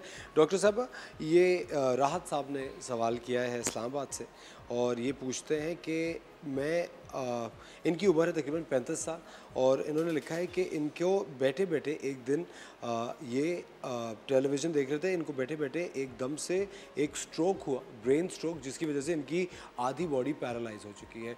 डॉक्टर्स कोई हल इसका बताते नहीं हैं और अब ये पैरालिसिस के साथ ज़िंदगी गुजार रहे हैं। अच्छा देखिए स्ट्रोक के बाद एक्सरसाइज बहुत ज़रूरी होती है। अच्छा नेचुरोपैथी में ना जब स्ट्रोक हो ब्रेन स्ट्रोक जो होता है। जैसे ब्रेन स्ट्रोक का है ना तो उसके लिए जब आपको फालिज आम अल्फाज में हम कहते हैं कि फालिज हो गया। फालिज के लिए नेचुरोपैथी में बहुत पुराना और अभी तक लोग इस पर अमल करते हैं। मेरी अपनी फैमिली में दो ऐसे वाक़यात हो चुके हैं जिसपे हमने इस पर अमल किया इसी उस पर तो उनको बहुत फ़र्क पड़ा। वो अपने हेल्दी लाइफस्टाइल की तरफ़ आ गए ऑल कि उनको पाँच से छः महीने लगे लेकिन बिल्कुल सही हो गए। नुस्खा ये है कि आपने कबूतर लेना है कबूतर को ज़िबा करके उसका जो ब्लड है वो वर्टिबल कॉलम पे लगाना है गर, गर्दन पे लगाना है सर पे अच्छी तरह लगाना है। और उसी कबूतर को पका के जैसे उसकी यखनी बना के दीजिए। यकीन कीजिए तीन दिन दीजिए बहुत फ़र्क पड़ता है हलाल है कबूतर खाना। बिल्कुल। तो इसका बिल्कुल इस्तेमाल कीजिए इससे बहुत ज़्यादा बचत होगी। अब अगर नहीं किया तो खरगोश। अब मतलब कि काफ़ी अरसा गुजर चुका है। सर्दियाँ आए, जिनको भी स्ट्रोक हुआ है, वो खरगोश का सूप बना के पीजिए। उससे बहुत फ़र्क पड़ता है। ये कुछ ऐसी आयुर्वेदिक रेमेडीज़ हैं, जो आपके ब्लड क्लॉट अगर हो गया है तो उसको ख़त्म करने में नेचुरली आपकी मदद करता है। जब ब्लड सर्कुलेशन अच्छी होगी तो हाथ, पाँव, जो पैरालाइज पार्ट है, वो सही होने में मदद होगी। और जो है ना, फिर आग का तेल कैलेट्रोपिस ऑयल जैसे आग के पत्तों को तिल के तेल में पकाकर इन्फ्यूज करके उसका उसको उतार लीजिए। जितने पत्ते डालेंगे उतना अच्छा। है उसके बाद उसमें लौंग का एसेंशियल ऑयल मिसाल के तौर पे अगर आपने 250 फिफ्टी लिया है तो उसमें 10 एम लौंग का एसेंशियल ऑयल 10 एम दार चीनी का एसेंशियल ऑयल ये मिक्स कर लीजिए। इससे और फिर इसमें 50 एम तारपीन का तेल डालना है।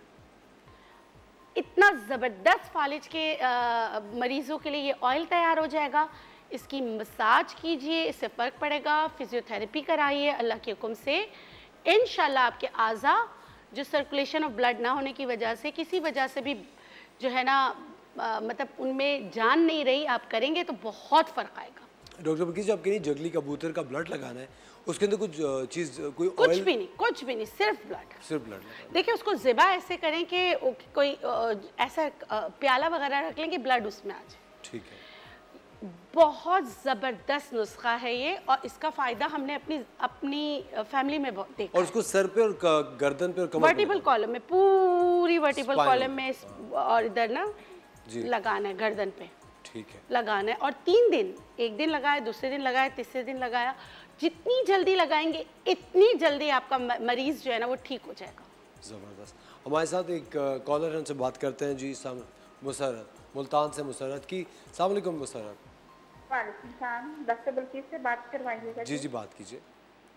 जी सलाम वालेकुम अस्सलाम कैसी हैं आप? अल्हम्दुलिल्लाह ठीक ठाक मेरे दो सवाल हैं। एक तो वो मैं, मैंने तिलों का और मौका का पूछा था मैं आपका प्रोग्राम सुन रही थी तो आपने धमासा बूटी का बताया था तो इसके लिए इस्तेमाल कर सकते हैं? धमासा बूटी? जी वो तिल तिलों आपने कहा ना वो जिसम से साफ़ करता है। देखिए वो ब्लड प्यूरिफायर है बिल्कुल सही है। उनको जो वायरल वार्ड्स हो गए ना बेटा तो वो फैलते चले जाते दमासा बूटी हर मर्ज में इस्तेमाल कर सकते हैं। आप चास्को के बीज के साथ ये भी इस्तेमाल कर सकते हैं लेकिन देखिए सफ़ाई निफ से माने पसीना नहीं आने दें और जो दवा जो चास्को के बीज बोले हैं वो नहीं छोड़ें और दमासा बूटी भी इस्तेमाल कीजिए।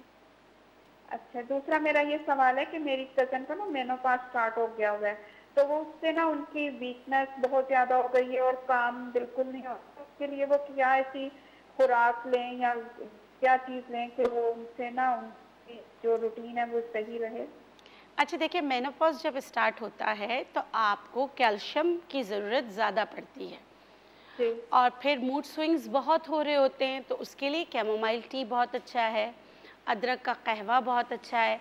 आई साइड वीक होना स्टार्ट हो जाती हैं तो आँखों के लिए गुल मुंडी सौंफ मिश्री पीसकर पाउडर बनाकर रख लीजिए।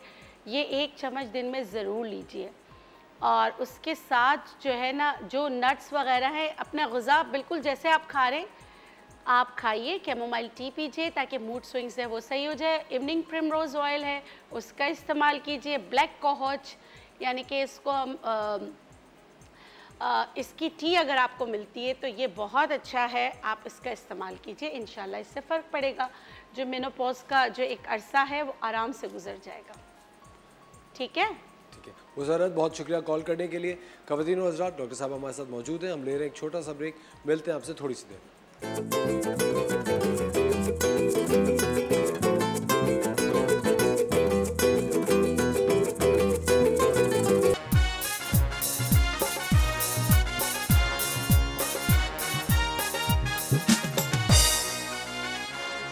वेलकम बैक आप देख रहे हैं the morning star doctor Bilquis हमारे साथ मौजूद हैं। डॉक्टर साहब, आज क्या रेमेडी बता रही हैं?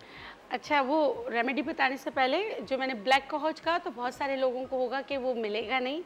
तो होम्योपैथिक में इसकी दवा मिलती है सीमिसी फुगा तो आप उसका भी इस्तेमाल कर सकते हैं। पोटेंसी बता देती हूँ 200 की पोटेंसी में। Five drops once a day आप ले लिया ले लिया कीजिए, जिनको हॉट फ्लैशेस होते हैं मूड स्विंग्स होते हैं, और वो मेनोपॉज में हैं तो उनको बहुत फ़र्क पड़ेगा। मैं आज बता रही हूँ, पिछले हफ़्ते बता रहे थे टाइम नहीं मिला अनवांटेड हेयर के लिए। मेरी नज़र में सबसे बेहतरीन रेमेडी है जब बच्चा पैदा होता है ना, उसके बाद से ही आपने जो अनवांटेड हेयर है उनके, उसको ख़त्म करने के लिए वुलन कपड़ा, ऊनी कपड़े का इस्तेमाल करें स्क्रबिंग के लिए। यकीन करें, उससे बाल जो है बहुत कम हो जाते हैं। और बॉडी के बाल जो हैं, जो आपको नहीं पसंदीदा बाल हैं, वो ख़त्म हो जाते हैं। अब आ जाते हैं कि रुएँ को हम कैसे ख़त्म करें? तो रुएँ को ख़त्म करने के लिए आपने लेना है हल्दी और नींबू। सही है?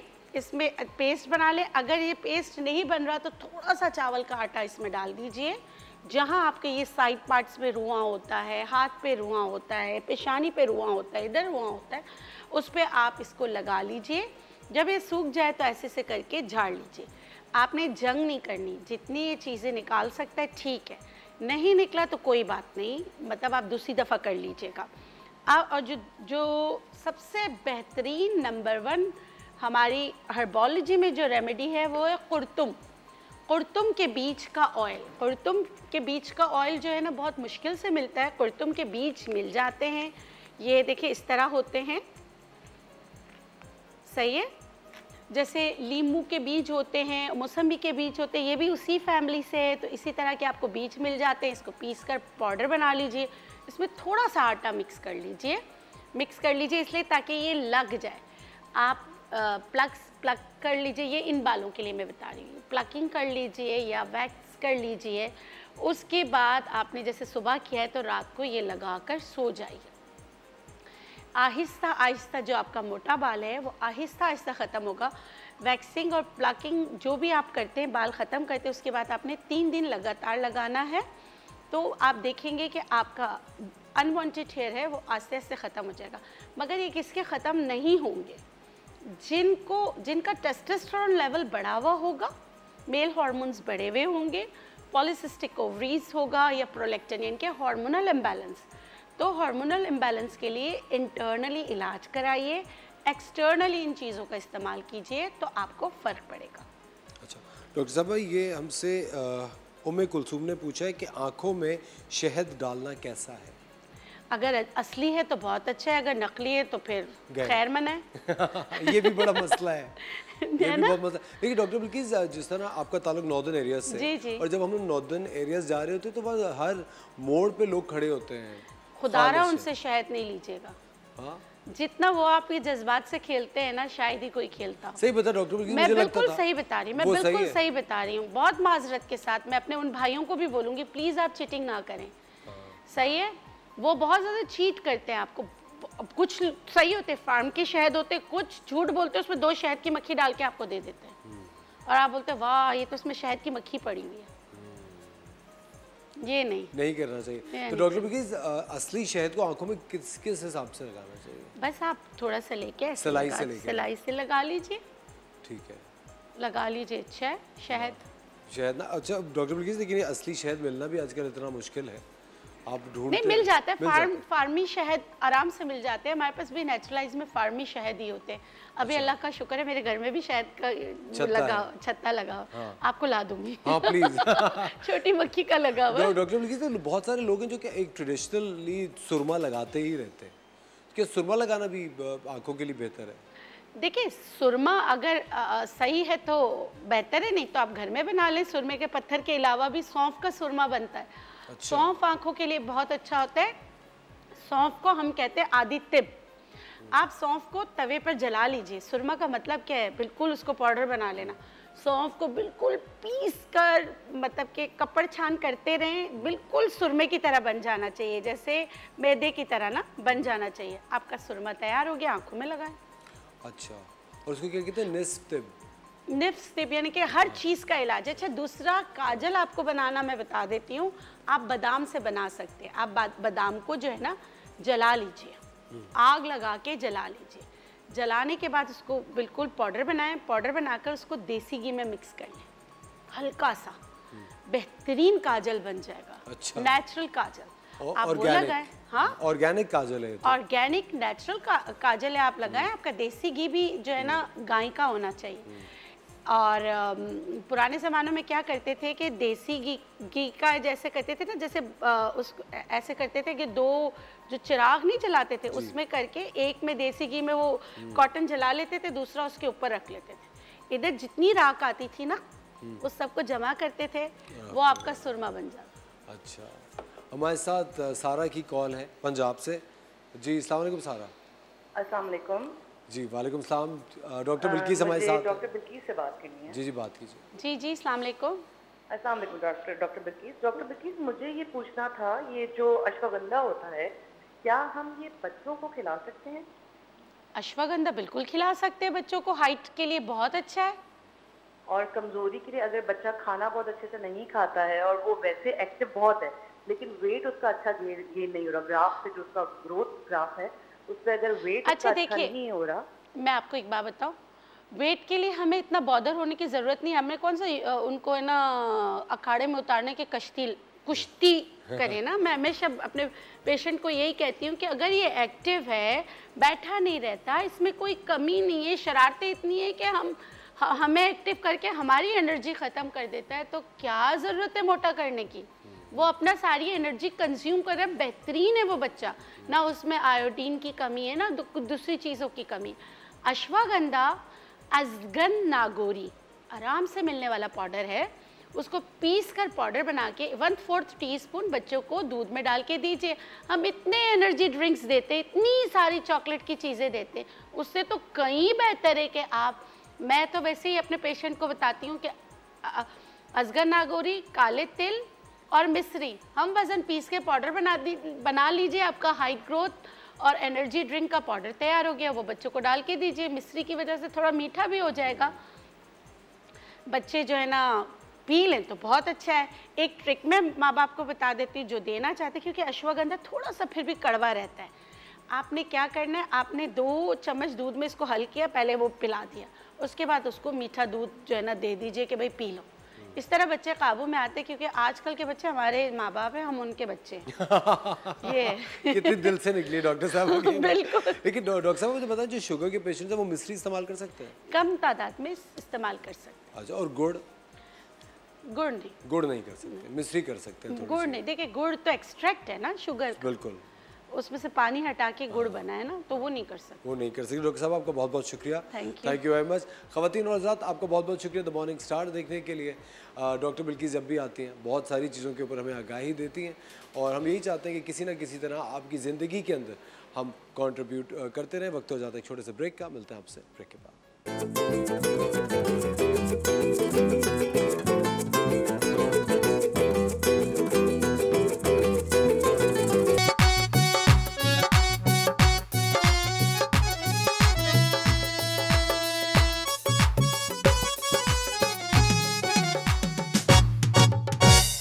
वेलकम बैक खवतिन हजरात आप देख रहे हैं द मॉर्निंग स्टार एक बार फिर आपको शो में वेलकम कहते हैं और आपकी मुलाकात कराते हैं कौरी।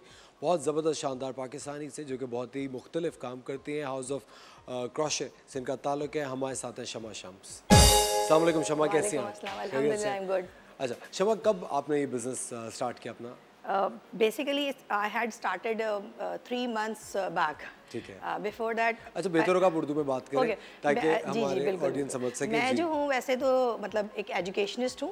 और 27 ईयर से और अभी मैंने थ्री मंथ्स पहले ये स्टार्ट किया है कि मतलब कुछ अपना काम ऐसा करना चाहिए और जब आपके अंदर स्किल्स हैं तीन महीने पहले जी अच्छा अभी तो बहुत रिसेंट है। जी बिल्कुल बट आई हैड मतलब मैंने तो दो तीन एग्जीबिशंस में पार्टिसिपेट किया है। बेहतरीन। हाँ, ताकि जो है वो आप आप डिस्प्ले कर सकूँ अपने स्किल्स को कि आप अपने स्किल्स को मतलब शो कर सकते हैं कि किस तरह आप अपने स्किल्स को यूज़ करते हुए अपने अपना मतलब अर्निंग का एक ज़रिया बना सकते हैं। बिल्कुल। तो ये ये क्रोशिया के थ्रू ही क्यों? आपको शौक था शुरू से? जी मुझे शौक था एक्चुअली हाँ। शादी से पहले मतलब ये तो होता है कि छोड़ा होता है सिस्टर कज़न बनाती थी वो सिस्टर को बहुत ज़्यादा मतलब बना कर देती थी। तो आई वॉज़ आस्किंग कि मैं मुझे बस एक चीज़ सिखा दें आप एक उसका टांका सिखा दें हाँ, तो मैं खुद मैं खुद बना लूँगी। तो फिर मैंने इस तरह से मुझे शौक हुआ और मैं बहुत मतलब बनाने लगी। फिर उसके बाद अब ये काफ़ी टाइम के बाद मुझे ऐसा लगा कि मुझे ये चीज़ आती है। मैं कभी कभी ऐसा होता था वेकेशन होते थे हमारे समर वेकेशन या विंटर वेकेशन तो मैं अपने बच्चों के लिए कोई ना कोई चीज़ बनाती थी। तो फिर आहिस्ता आहिस्ता मुझे अब ये कुछ टाइम पे जब ला इस वेकेशंस में मुझे कोई ऐसा था नहीं काम तो मैंने ये स्टार्ट किया। कि और ये सारा मैंने उसी दौरान बनाया है। अच्छा और कितनी देर लगती है एक पीस बनाने में? अ, एक पीस बनाने में depends on the piece actually अगर मैं ये मतलब बैंगल बना रही हूँ तो ये अब मुझे क्योंकि मैं फास्ट बनाती हूँ तो मुझे 10 मिनट लगते हैं इसको बनाने में। एक बैंगल बनाने में? हाँ एक Very बनाने nice. हाँ तो मैं जल्दी बना लेती हूँ। फिर मैं इयर हैं ये बटन्स हैं तो ये ये वो हैं ब्रेसलेट्स हैं। ठीक है। तो मैं उस हवाले से मतलब जिसके डिपेंड करता है कि आप उसको अगर आप जैसे कि एक स्टेप बना हुआ है। अब किसी को चाहिए कि वो थोड़ा बड़ा चाहता है चौड़ा चाहता है कोई डिफरेंट डिज़ाइन चाहता है। एक और रंग इसमें एक और बिल्कुल। तो फिर वो क्या होता है कि वो इट टेक्स टाइम अदरवाइज़ तो कुछ लोग एम्बेलिशमेंट चाहते हैं कि थोड़ी बेल्स लगी जी बिल्कुल बिल्कुल बिल्कुल। तो हम उसी तरह जैसे मैंने ये कस्टमाइज बना रही हूँ मैं ये मेरे पास ऑर्डर है एक्चुअली अच्छा। तो ये मैंने डिज़ाइन बनाया है और मैंने इसके ऊपर नाम लिखने हैं हाँ। तो ये ये टाइन डाई कितना अच्छा लग रहा है ये बीच में ये टाई एंड डाई का कलर है और ये हमने यूज़ किया। अब हम इसको जो है वो यानी जूट पे बना हुआ है। इस ये हमने इससे नाम लिखा है अब। तो हमें जितने भी मतलब नंबर ऑफ़ स्ट्रेंथ हमें मिला है कि ऑर्डर के थर्टी बनाने हैं थर्टी फाइव बनाने तो उतने नाम लिखने पड़ेंगे। तो ये कस्टमाइज ऑर्डर भी बनाते हैं हम। अच्छा कि, अच्छा और क्या क्या चीज़ें प्रोडक्ट्स में और क्या क्या आपके प्रोडक्ट्स में हमारे पास बैंगल्स हैं ये हमारे पास चोकर हैं हम्म। ये हमारे पास टी मैट्स होते हैं। डेकोरेशन पीसेस बनाते हैं हम। क्लिप्स हैं बच्चों के बच्चों के बड़ों के जो भी। और की चेन्स बनाते हैं। की चेन्स हैं ये हमने 14 अगस्त के हिसाब से काफ़ी चीज़ें बनाई हुई थी। ये की चेन्स हैं हमारी। ओह वेरी नाइस हाँ तो ये की चेन्स हैं सारी। और ये एयरपॉड्स जो होते हैं। उनका cover। जी जी एयरपोर्ट कवर मोबाइल कवर भी तो अभी कुछ सेल आउट हो चुके हैं तो वो मेरे पास अवेलेबिलिटी नहीं है। ये रिंग्स हैं। ये 14 अगस्त के हवाले से हमने बनाई थी काफ़ी चली गई हैं और ये कलरफुल हैं। और सुनिए ये सिल्वर इयर है? सॉरी ये जो सिल्वर का सिल्वर ये वाला? इयर है ये? जी जी इयर हैं। वेरी नाइस हाँ, ये ये तो यहाँ से मुझे मेटल के लग रहे थे। नहीं ये मेटल नहीं है ये इसके ऊपर ये जो अ, वो डोरीज होती है ना उससे बना हुआ है ये। अच्छा। जी। और इसकी क्या प्राइस है? इसकी सर ज़्यादा महँगी नहीं है थ्री हंड्रेड हमने रखी हुई है। कॉस्ट हमने कम रखी है क्योंकि हमने वर्किंग को ज़रा लेस कर दिया है because I am making on my own तो उसको हमने ज़रा लेस किया हुआ है। फिर अभी जो है वो और ये सारी ये बालियाँ हैं। ये How nice. बनी हुई है। है। और बहुत सारी चीज़ें हैं डिफरेंट और और मुझे बात बताएँ अभी आप कहीं और डिस्प्ले नहीं करी सोशल मीडिया के थ्रू ये बिज़नेस चला रही है। जी। हाँ? सोशल मीडिया के थ्रू ही कर रही है अभी कहीं और डिस्प्ले पे नहीं मैं सिर्फ़ इंस्टाग्राम के थ्रू कर रही हूँ। और फेसबुक पे क्योंकि मेरा पेज पहले से मौजूद था पर चिक फैशंस के नाम से उसी के साथ मैंने अटैच किया the house of Qureshi very nice और, और क्या कोई आपकी इस तरह की पॉलिसी है कि मिनिमम ऑर्डर थाउज़ेंड अबव होगा तो फ्री नो डिलीवरी है या कुछ ऐसे? जो जितना अगर जो हमें कहता है एक बना दें हम उसके लिए एक हैं एक हमने अभी इस्लामाबाद बिना एक रिंग बना एक सिर्फ़ ये बना के भेजा है। वेरी हाँ नाइस दैट ऑल दो उसका जो ले जाने वाला जो टी सी एस या आप किसी भी लिपट के थ्रू अगर आप इसको भेजते हैं तो वो चार्जेस एक्चुअली थोड़े होते हैं ज़्यादा कस्टमर पे आ जाते हैं थोड़े हम बेयर कर लेते हैं। अच्छा। लेकिन ये अब एक किसी को पसंद आ गया है और वो चाहता है ऑर्डर करना तो फिर वो हम वो कर वो कर लेते बिल्कुल, हैं अच्छा मुझे बात बताइए शमा आपके घर वालों का कैसा रिस्पांस था जब आपने ये पूरा सेटअप शुरू किया। हाँ, सर मेरा बहुत सपोर्ट है। बेसिकली मतलब मैं हूँ और मेरी दो बेटियाँ हैं माशाल्लाह से। एन में पढ़ती है एक बेटी मेरी और ए लेवल्स किया उन्होंने बीकन हाउस से। स्कूल का नाम नहीं बस इट्स लाइक किया है बढ़ा उन्होंने तो और एक और है वो लेवल से आज उनका रिज़ल्ट है। अ, और वो भी बीकन हाउस से? वो भी बीकन हाउस से मैं भी बेकर हूँ अच्छा। तो I had work with Beaconhouse as well अच्छा। सेवन इयर्स अच्छा। तो मैंने बीकन हाउस के साथ काम किया सिटी स्कूल के साथ किया सेंट माइकल्स के साथ किया। Now I am working with the school that is Roots Millennium school right now और आपने फैमिली का पूछा था तो फैमिली की बहुत सपोर्ट है। मेरे हस्बैंड एक्चुअली नहीं है उनकी डेथ हो चुकी है बारह साल पहले। मेरे भाई बहन बहुत ज़्यादा सपोर्टिव है। मेरा भाई इज़ ऑलवेज आस्किंग कि अगर ये बहुत अच्छा है। और अगर नहीं सेल हुआ बिकॉज़ मैंने भी आरजी में स्टॉल लगाया था अपना तो वहाँ मैं गई थी थर्टी थर्टीन अगस्त को।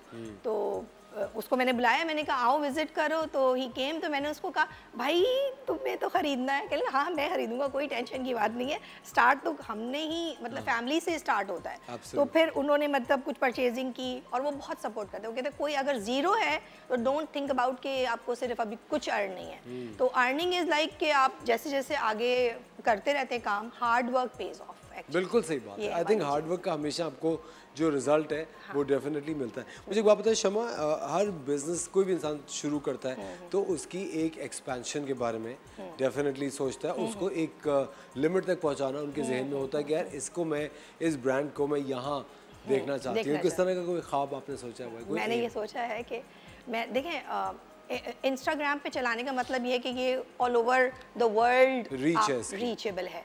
और दूसरी चीज़ ये कि जो हमारे यहाँ पाकिस्तान के अंदर हम चाहते हैं कि हम हाथ का मतलब काम को पसंद करते हैं लोग और अप्रोच भी करते हैं लेकिन वहाँ बहुत ज़्यादा फॉरेन में भी लोग बहुत ज़्यादा बनाते हैं। स्ट्रेस रिलीवर है ये एक तरीके से अगर बिल्कुल सही बात है। कि आपको अगर कोई स्ट्रेस आप कोई काम कर रहे हो आई थिंक आर्ट का हर फॉर्म एक हर स्ट्रेस रिलीवर बिल्कुल बिल्कुल ऐसे ही है। तो मेरा ये है कि मैं इसको जब शॉप्स के ऊपर ले जाने का मेरा ये है कि मैं आगे तक ले जाऊँ इंटरनेशनली जो है वो डिस्प्लेस करूँ एग्जीबिशंस में पार्टिसिपेट करूँ। अभी मैंने करंटली जहाँ किया था तो ट्वेल्थ अगस्त को तो वहाँ पे उनका है कि आगे तक जाएगा ताला। ज़बरदस्त शमा बाकी कामयाबी अल्लाह शमा उसके साथ मुझे आप एक बात और बताएँ कभी कोई इस तरह भी होता है कि आप कोई सेल लगाती हैं कि आज़ादी सेल जी, जी, या ईद सेल इस तरह के प्रमोशन अभी हमने की थी प्रमोशंस 14 अगस्त के क्योंकि हमारा तो पहले इवेंट आया था ये। तो हमने 14 अगस्त के हवाले से पूरा एक ब्रोशर बनाया था। और ग्रीन बहुत कुछ बनाया था हमने ग्रीन अभी यहाँ पे कम कर दिया है हाँ। क्योंकि ग्रीन हमने बहुत ज़्यादा बनाया था ग्रीन एंड वाइट। तो ताकि मतलब ये है कि अकॉर्डिंग टू द ओकेजन और इवेंट के हिसाब से हो। बेहतरीन। बहुत बहुत शुक्रिया आपका शो पे आने के लिए। और हमारी हमेशा से ये ख्वाहिश होती है कि हम इस तरह की बेहतरीन खातन को आपसे इंट्रोड्यूस करें इनके पेजेस आप तक पहुँचाएँ क्योंकि एजुकेशनिस्ट भी हैं टीचर हैं और उसके साथ साथ ये काम भी कर रही हैं और आप भी मल्टीटास्किंग करके अपने घर का जो एक थोड़ा सा रिस्पॉन्सिबिलिटी है उसको माशी तौर पर भी शेयर कर सकती हैं और हम हमेशा इस तरह की खातन को सराहते हैं। और हमारी दुआ है कि आपका जो ब्रांड है वो और तरक्की करे। जिस दिन आप पहला फ़ोटो फ्रेम बनाए ना इसका आप वो मुझे भेजेंगे। Bye from you Shama lovely meeting you वक्त हो जाते छोटे से ब्रेक का खबर और रात मिलते हैं आपसे ब्रेक के बाद।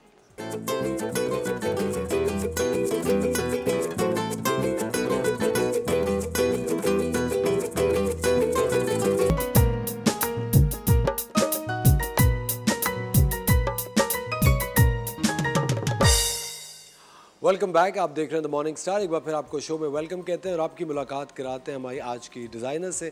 हमारे साथ हैं महा शेख। सलाम महा कैसी हैं आप? बिल्कुल ठीक है। महा आपका ये ब्रांड है चूजी एक्सप्लिसिट जो। कि आप काफ़ी अरसे से इसको रन कर रही हैं। मुझे बताएँ ये जर्नी आपकी शुरू कैसे हुई? मेरी ये जर्नी शुरू हुई थी जब मेरा फ़र्स्ट फ़ैशन शो हुआ था जर्मनी में। मेरे फादर का टेक्सटाइल्स का बिज़नेस है। और अ, मैं बचपन से देख रही थी कलर्स डिज़ाइंस वो जितने भी ब्रांड्स के लिए इंटरनेशनल ब्रांड्स के लिए बनाते थे तो वो एक ऑटोमेटिकली एक इंटरेस्ट डेवलप हुआ।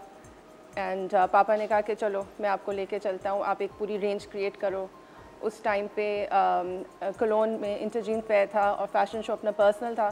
तो वहाँ से मैंने एक अपना फ़र्स्ट ब्रांड लॉन्च किया चूजी एक्सप्लिसिट के नाम से। उसके बाद फ़ैशन स्कूल गई। तो Pakistan school of fashion design में मैं पढ़ रही थी एट दैट टाइम और फिर मेरा एफ़ आई टी में एडमिशन हुआ न्यूयॉर्क में। वहाँ से फिर अब फ़ैशन की जर्नी मेरी शुरू हुई and it's like a never ending journey अच्छा जब आप अपना पहले ही आपने कलेक्शन तैयार की थी पहली कलेक्शन के वक्त तो मेरे ख्याल से जब यंग जब स्टूडेंट्स होते हैं तो उस वक्त बहुत सारे आपके एक थोड़े से क्रेजी ख्वाब होते हैं। आप इतना ज़्यादा एक क्या कहते हैं एक आप एक ऑडियंस को समझने वाले कपड़े नहीं बनाना चाहते। आप चाहते हैं कि थोड़े स्टेटमेंट। रिलेटेड ड्रेसेस हो थोड़े से लाउड हों। आपकी पहली कलेक्शन किस बारे में थी? मेरी पहली कलेक्शन थी निटवेयर और डेनिम की। डेनिम में बहुत क्रिएटिविटी थी क्योंकि उसमें हमने डिफरेंट वॉशेस डेनिम जीन्स में डेनिम ड्रेसेस में डेनिम जैकेट्स में बहुत ज़्यादा इनोवेशन की उसके अंदर सीक्वेंस का भी काम ऐड किया। सो so बेसिकली वो पाकिस्तान और अ, जिसको कहते हैं ना फ्यूजन ब्लेंड किया पाकिस्तान और अमेरिका और लंदन के हिसाब से। बड़ा अच्छा रहा और लोगों ने बहुत अप्रिशिएट भी किया कि हम ज़रूरी नहीं है कि ईस्टर्न को वेस्टर्न को फ्यूजन करके नहीं बना सकते। तो मैंने इन्जॉय किया लेकिन इतनी ज़्यादा उसमें मैंने बोल्डनेस नहीं शो की बिकॉज़ ये था कि it has to be wearable और इट हैज़ टू बी उसी वक्त है। आप या मार्केट से आप पिकअप करके आप उसको पहन भी सकते हो। तो अच्छा ये जो अभी आपने कपड़े बनाए ये तो बहुत ही वेरेबल है। ये तो बहुत सारे लोग अपने रोज़मर्रा की ज़िंदगी में ख़वातीन पहन सकती हैं। इनकी प्राइस रेंज कहाँ से स्टार्ट होती है कहाँ ख़त्म होती है? मेरी बहुत मॉडरेट प्राइस रेंज है and it depends it goes up to जो भी क्लाइंट की रिक्वायरमेंट होती है। जैसे अगर आपने कैजुअल वेयर में कुर्ताज़ की तो आजकल टेन थाउज़ेंड प्लस रुपीज़ की यू नो वेरी अफोर्डेबल हर कोई ले सकता है फिर it goes up to you know sky the limit जितनी भी आप चाहें तो। आप कस्टमाइज भी करती हैं? मैं कस्टमाइज भी करती हूँ करती हैं? अगर कोई आपको कोई तस्वीर ला के दिखाए कि I don't copy. I can say अगर कोई कहेगा कि मुझे इस तरह का आपको डिज़ाइन चाहिए फलाने फलाना डिज़ाइनर से मुझे इंस्पिरेशन मिल रही है और वो चाहेंगे कि मैं उनको वो चीज़ सस्ते में बना दूँ तो ऐसा पॉसिबल नहीं है because it's copying a design तो I don't do that I will recreate something for them for their you know season के हिसाब से कोई इवेंट पे है या कोई कलर स्कीम उनको चाहिए उस हिसाब से फिर आई क्रिएट अच्छा कोई फेवरेट फैब्रिक है आपका कि मुझे यार इस फैब्रिक पे काम करना बहुत अच्छा लगता है? I love pure silk because silk पे इतनी अच्छी फॉल आती है the flow and you know the richness that you get वो बाकी फैब्रिक से मुझे इतनी नहीं समझ आती। अच्छा महद जो बिज़नेस है हमारा उसमें कट थ्रोट कंपटीशन होता है। और आप यकीनन अपने जो कंपेटिटर्स हैं उनको भी दिमाग में रखते हुए अपना काम बनाती होंगी। कभी ऐसा होता है कि आपने कोई कलेक्शन लॉन्च की और उसके तकरीबन कोई पंद्रह दिन के बाद उस आपकी कॉपीड कलेक्शन मार्केट में आपको एक और जगह नज़र आई? हुई है बहुत दफ़ा हुई है और क्लोज सराउंडिंग्स में जैसे अगर मेरी आज एग्जीबिशन हुई है उसके 15 डेज़ के बाद वही चीज़ दुबई में एग्जिबिट हुई है तो आई फील प्राउड बिकॉज़ चलो कोई कॉपी चीज़ हो रही है तो कोई बात नहीं I don't get upset imitation हाँ फ्लैटरी का हाँ बेहतरीन it good it feels good क्योंकि um, लगता है कि किसी और को भी इंस्पिरेशन मिली है और उनको मेरे अच्छे डिज़ाइन अप्रूव भी हुए और बाकियों से उनको पसंद भी आए तो अच्छा फील होता है। और ये भी तो कभी होता होगा कि कोई ऐसी चीज़ आपने बहुत दिल से बनाई हो उसको वो वाला रिस्पांस ना मिला हो जो कि आप एक्सपेक्ट कर रही हो। Not really to be honest with you जो लीस्ट फेवरेट होता है वो सबसे ज़्यादा फेवरेट होता है। हाँ। और जो मेरा बहुत ज़्यादा फेवरेट होता है वो भी मतलब चल जाता है बिकॉज़ मैं बहुत मॉडेस्ट डिज़ाइन बनाती हूँ और मैं वो चीज़ बनाऊँगी कि वो हर तबके का इंसान पहन सके। ये नहीं है कि सिर्फ़ एक ही मार्केट को टारगेट करके उन्हीं के लिए बनाया। तो पहनना जो है हर किसी की ख्वाहिश होती है। एवरीबडी ड्रीम्स के अच्छा हमें ये वाला डिज़ाइन पहनना है। तो आई मेक श्योर कि वो कट ऐसा हो वो फिट ऐसी हो कि from thin silhouette to thick silhouette everybody can wear अच्छा महा एक फ़ैशन का जो एक एक एक उसूल है कि वो बदलता रहता है और कभी भी एक जैसा नहीं रहता। आप कभी इस ट्रेंड को फॉलो करती हैं कि एकदम से अगर लॉन्ग शर्ट्स इन है तो आपने वो बनाना शुरू कर दी या आप हर कलेक्शन में हर दफ़ा अपना कोई नया ट्रेंड लेके आती हैं? It's a blend of both मैं अपना ट्रेंड भी लेके आती हूँ और जब अमेरिका में मैं पढ़ रही थी एफआईटी में तो ट्रेंड फोरकास्टिंग हमें सिखाई गई थी। पाकिस्तान में तो ये है ना कि हर दो हफ़्ते बाद नया डिज़ाइन आता है। वहाँ पे अभी जो प्रेप हो रहा होगा वो नेक्स्ट फॉल की कलेक्शन के लिए प्रेप हो रहा होगा। तो फोरकास्टिंग इज़ वेरी इंपॉर्टेंट पूरी दुनिया में मैं इंटरनेशनल डिज़ाइनर्स को फॉलो करती हूँ लोकल डिज़ाइनर्स को भी फॉलो करती हूँ। और उस हिसाब से वो कलेक्शन अगर लेंथ लंबी भी चल रही है तो शॉर्ट भी चल रही है। नाउ आफ्टर कोविड फ़ैशन की कोई लिमिट नहीं रही। हर चीज़ बन रही है from short shirt to long shirt to peplum to lehengas and peshwas everything is like in now वो डिपेंड करता है कि आपकी सिलवेट क्या है आपकी बॉडी स्ट्रक्चर क्या आपको क्या सूट कर रहा है।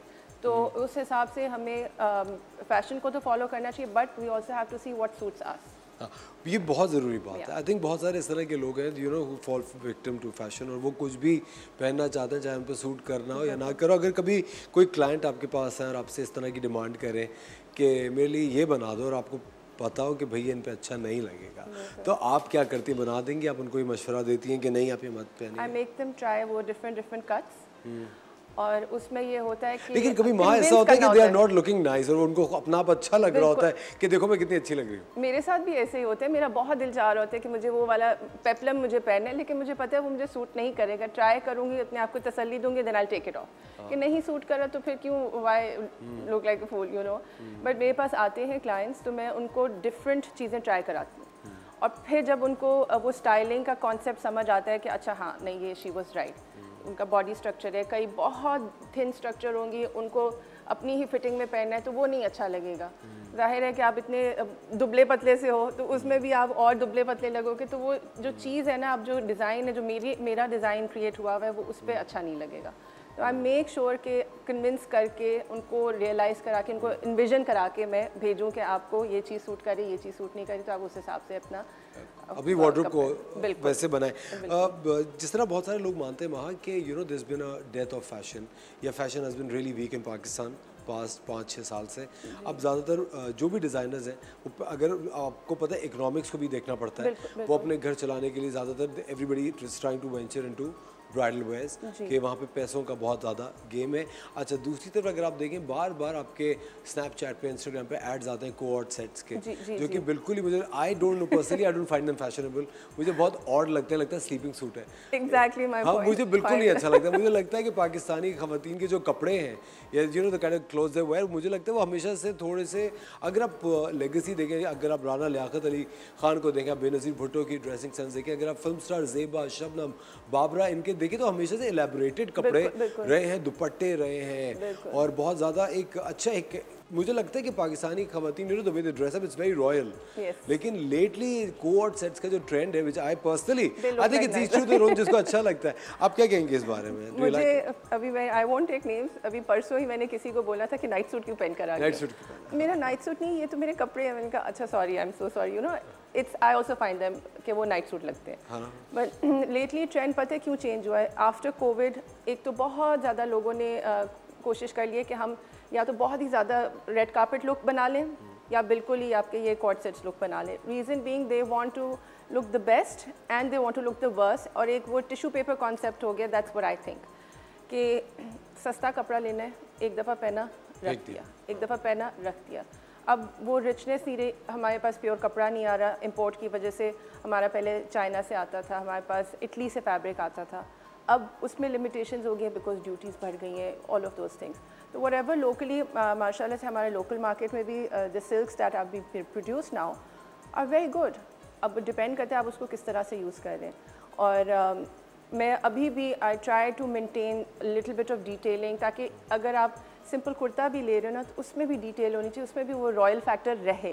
तो, अ, क्योंकि वो एलिमेंट जो है हर किसी में अब नहीं आ रहा। Yesterday I was at the mall बहुत अच्छे कपड़े थे लेकिन कोई ऐसा नहीं था कि वो मैं from dressing to my office to a lunch पे मैं पहन सकूँ। क्योंकि मेरे पास माइंड में यही कॉन्सेप्ट है अगर आप सुबह ऑफ़िस जा रहे हैं तो वो ऐसा ऑफ़िस वेयर होना चाहिए कि वो आप कन्वर्टेड इनटू अ लंच आपने साथ स्टाइलिंग कर दी with accessory bag shoe ear थोड़े आपने हाँ। हाँ तो उसको आप कन्वर्ट करें from everyday wear to somewhere you can go यानी कि आप घर में भी बैठे हुए तो you have to look like you know very shabby person you need to dress up and maintain yourself घर में भी ताकि आप उठ के आपका दिल चाह रहे बाहर जाने को ओके लेट्स गो तब जा सके। जा सकते हैं। ये नहीं है कि आप बस और मुझे लगता है जब आप थोड़ा सा तैयार होते हैं और थोड़ा सा आपने एक डिटेल्ड कपड़े पहने होते हैं आप अच्छा फील भी करते हैं। बिल्कुल, तैयार तैयार फील करते हैं और अच्छा फील करते हैं। वक्त हो जाता है छोटे से ब्रेक का। माँ हमारे साथ मौजूद है। मिलते हैं आपसे थोड़ी सी देर पर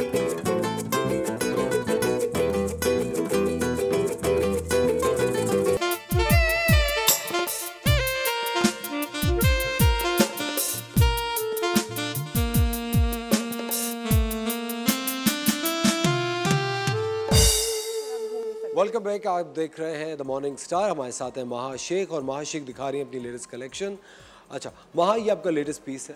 इस वक्त प्लीज़ एक्सप्लेन इट क्या चीज़ है? सो इस आउटफिट के पीछे एक Story है। स्टोरी है है। कि मैंने लास्ट ईयर ओम्ब्रे कलेक्शन की थी। Ombre collection is shades that go from up and down and down to up उसके अंदर आप डिफरेंट कलर्स मिक्स करके और कलर्स क्रिएट करते हो। तो जैसे यहाँ नीचे से आप देख रहे हैं ये एक कलर पैलेट जो है ये ग्रीन से ब्राउन में मर्ज uh, हो रहा है। Gradient it's a very nice gradient and we call it ombre and मैंने इसके ऊपर एक जैकेट क्रिएट की है।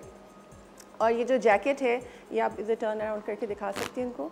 ये एलिफेंट कलेक्शन है। मुझे एलिफेंट्स बहुत पसंद है। मैंने एलिफेंट्स में ब्लॉक प्रिंटिंग भी की है। उसके बाद मैंने ये मोतियों की आ, इसके ऊपर मोटिव्स बनवा के ये एक जैकेट क्रिएट की है। ये आप सेपरेटली भी पहन सकते हैं ड्रेस के साथ भी पहन सकते हैं। तो मेरे जो पीसेस हैं वो बहुत फ्यूजन एंड मॉडेस्ट भी हैं और आ, आप इसको एक इवनिंग गाउन में इवनिंग गैदरिंग में पहन सकते हैं एंगेजमेंट में पहन सकते हैं लंच में पहन सकते हैं और कंफर्टेबल भी है। My main focus is comfort तो कंफर्ट के हिसाब से अगर आप देखें तो मॉडल भी देखें कंफर्टेबल है। इनकी हाइट के हिसाब से भी बहुत प्रिटी लग रहा है। और ये मेरा कट ऐसा है कि आप एक स्लेंडर सिलवेट पे भी जा सकता है और एक हैवी पे भी जा सकता है।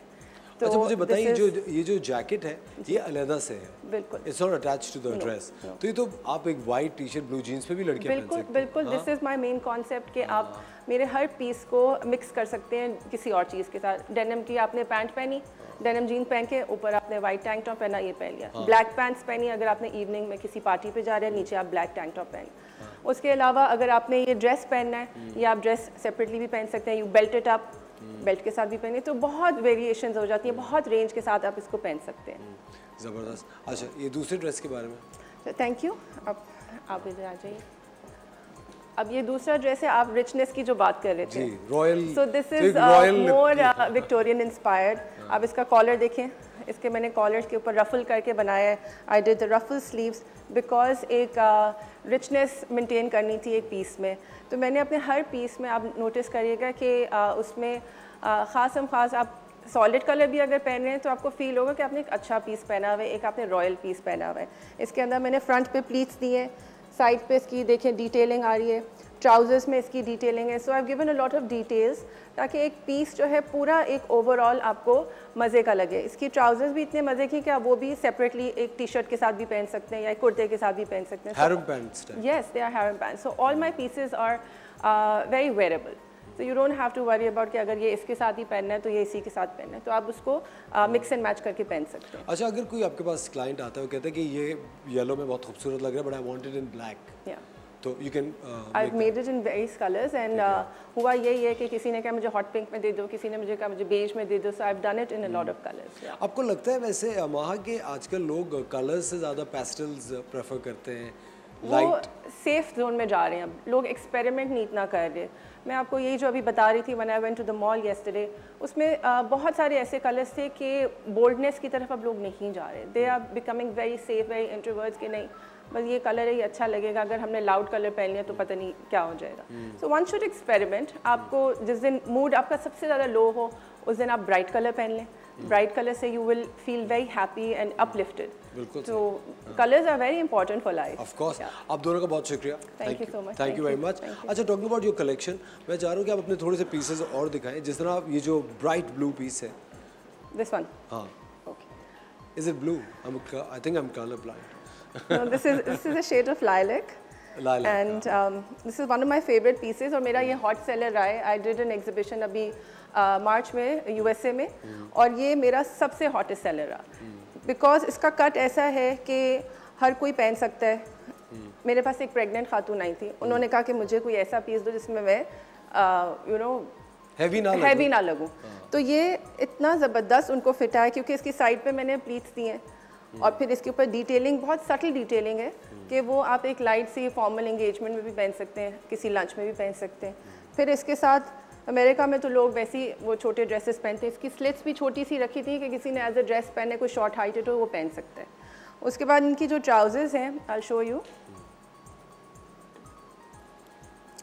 ट्राउजर्स भी मैंने ट्यूलिप पैंट्स बनाई हैं।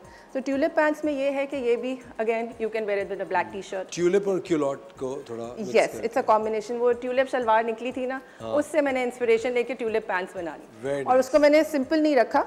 I did light beaded work beaded work में ये है कि थोड़ा वो फन एलिमेंट आ जाता है तो अच्छा लगता है पहनने में। हम्म।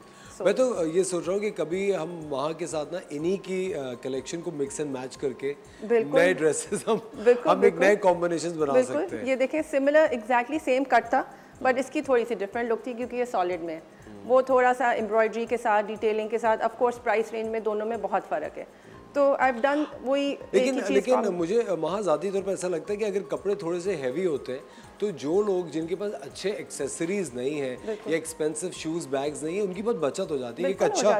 ड्रेस पहनना है बाकी उन्होंने चीज़ें सिंपल ले ली है। बिल्कुल ऐसा ही है कि अगर आपने ये जैसे हैवी है तो इसका छोटे से टॉप्स पहन लें यू गुड टू गो आपको इसके साथ कोई चूड़ियाँ कोई वो पहनने की ज़रूरत नहीं आप फ्लैट्स के साथ भी पहन लें आप हील्स के साथ भी पहन लें तो बड़ा अच्छा इसका कॉम्बिनेशन चल जाता है। अच्छा वहाँ कोई ऐसा फ़ैशन ट्रेंड हो जो कि ट्रेंडिंग पे रहा हो या अभी भी है जो आपको बिल्कुल नहीं पसंद हो और आप बिल्कुल उससे डिसग्री करती हो? कि यार ये मुझे बहुत ऑफ़ लगती है चीज़। जैसे एक डिज़ाइनर आई थी उन्होंने कहा मुझे पॉन्चोस का कॉन्सेप्ट नहीं समझ आता and I don't like ponchos मुझे बाकी चीज़ें पसंद है। तो सबका अपना अपना होता है। जैसा मुझे एज सच कोई ऐसे फ़ैशन ट्रेंड में वो नहीं है कि ये पसंद नहीं है वो पसंद नहीं। I like everything because if you in the fashion industry you have to adapt you have to understand कि किस चीज़ में क्या अच्छा लगेगा। Like I am wearing this is like more of a poncho style but it's very variable क्योंकि मैंने इसको वो लुक नहीं दी इसको मैंने बड़ा ट्रेंडी लुक दिया है काम इस पर नहीं किया हुआ क्योंकि ये मेरा सारा ये क्रेप सिल्क पे ब्लॉक प्रिंट हुआ हुआ है and it's all hand work हल्की सी पर्ल्स की डिटेलिंग दे दी है फ्रंट आप देखें छोटा है बैक इज़ लिटिल लेंथ तो इसको स्टाइलाइज कर है। फॉर्मल भी हो गया और ये आप फैशनेबल भी हो। गया। तो अच्छा, ऐसा मुझे कोई वो नहीं है कि ये नहीं पसंद वो नहीं पसंद। As a designer as a colourful person I like everything excellent I think colours बहुत ज़रूरी हैं ज़िंदगी में। अच्छा वहाँ मुझे बताएँ as a fashion designer masking you बहुत सारे लोग हैं जो कि ब्राइडल वेयर में कलर्स के साथ एक्सपेरिमेंट करते हैं। Seen ladies wearing bright blue on walima या एक अजीब सा कोई नया कलर होता है। कुछ लोग होते हैं जो कि ब्लैक के पैचेस वेलवेट के यूज़ करते हैं ब्राइडल वेयर में। और कब अब एक बहुत बड़ी कॉम है जो मानती है कि ब्लैक शादियों पे नहीं पहनना चाहिए। You know the people with different concept आपको कोई ऐसा शादियों का ट्रेंड है जो आपको लगता है कि कलर्स के साथ एक्सपेरिमेंट करना चाहिए या लोगों को ट्रेडिशनल कलर्स के साथ ही स्टिक करना चाहिए? Well, currently people are going back to the traditional style. To be honest with you, red पहले बहुत जब back like 20 years back red was a color. Red maroon, red maroon उसी के combinations बनते थे. अब आई थिंक 90s में वो वाइट uh, में चले गए थे फिर सिल्वर में आ गए अब वापस से रेड में आ रहे हैं mm -hmm. तो ब्राइडल uh, जब मैं ब्राइडल करती थी I start off with bridal तो जब मैं करती थी तब मैं सारे कलर्स के साथ प्ले करती थी क्रीम भी है ग्रीन भी है ब्लू भी है तो डिपेंड करता है अगर आपने मेहंदी पे कलरफुल पहने तो आप पूरा ऑल आउट चले जाएँ और फिर यू नो एक आप सॉलिड कलर पहन लें on your special day but it it's preference वो उसमें कोई थिक एंड फास्ट रूल नहीं है कि you have to stick to a specific अच्छा आप सुनती हैं क्लाइंट्स की हाँ, कि हाँ, कि जो अच्छा लग रहा है वो करें। Maha it was lovely having you on the show और महा शेख के जो सोशल मीडिया के लिंक्स हैं, इनके और इनके ब्रांड के, इस वक्त आपकी स्क्रीन पर आ रहे हैं। प्लीज़ विज़िट कीजिए और अगर अभी तक आपने शॉपिंग नहीं की अगले सीज़न की तो महाशेख is the person to go to बहुत बहुत शुक्रिया आज का शो देखने के लिए। कल फिर आपके साथ होंगे एक बेहतरीन से शो के साथ। अपना ख्याल रखिएगा। खुदा हाफिज़।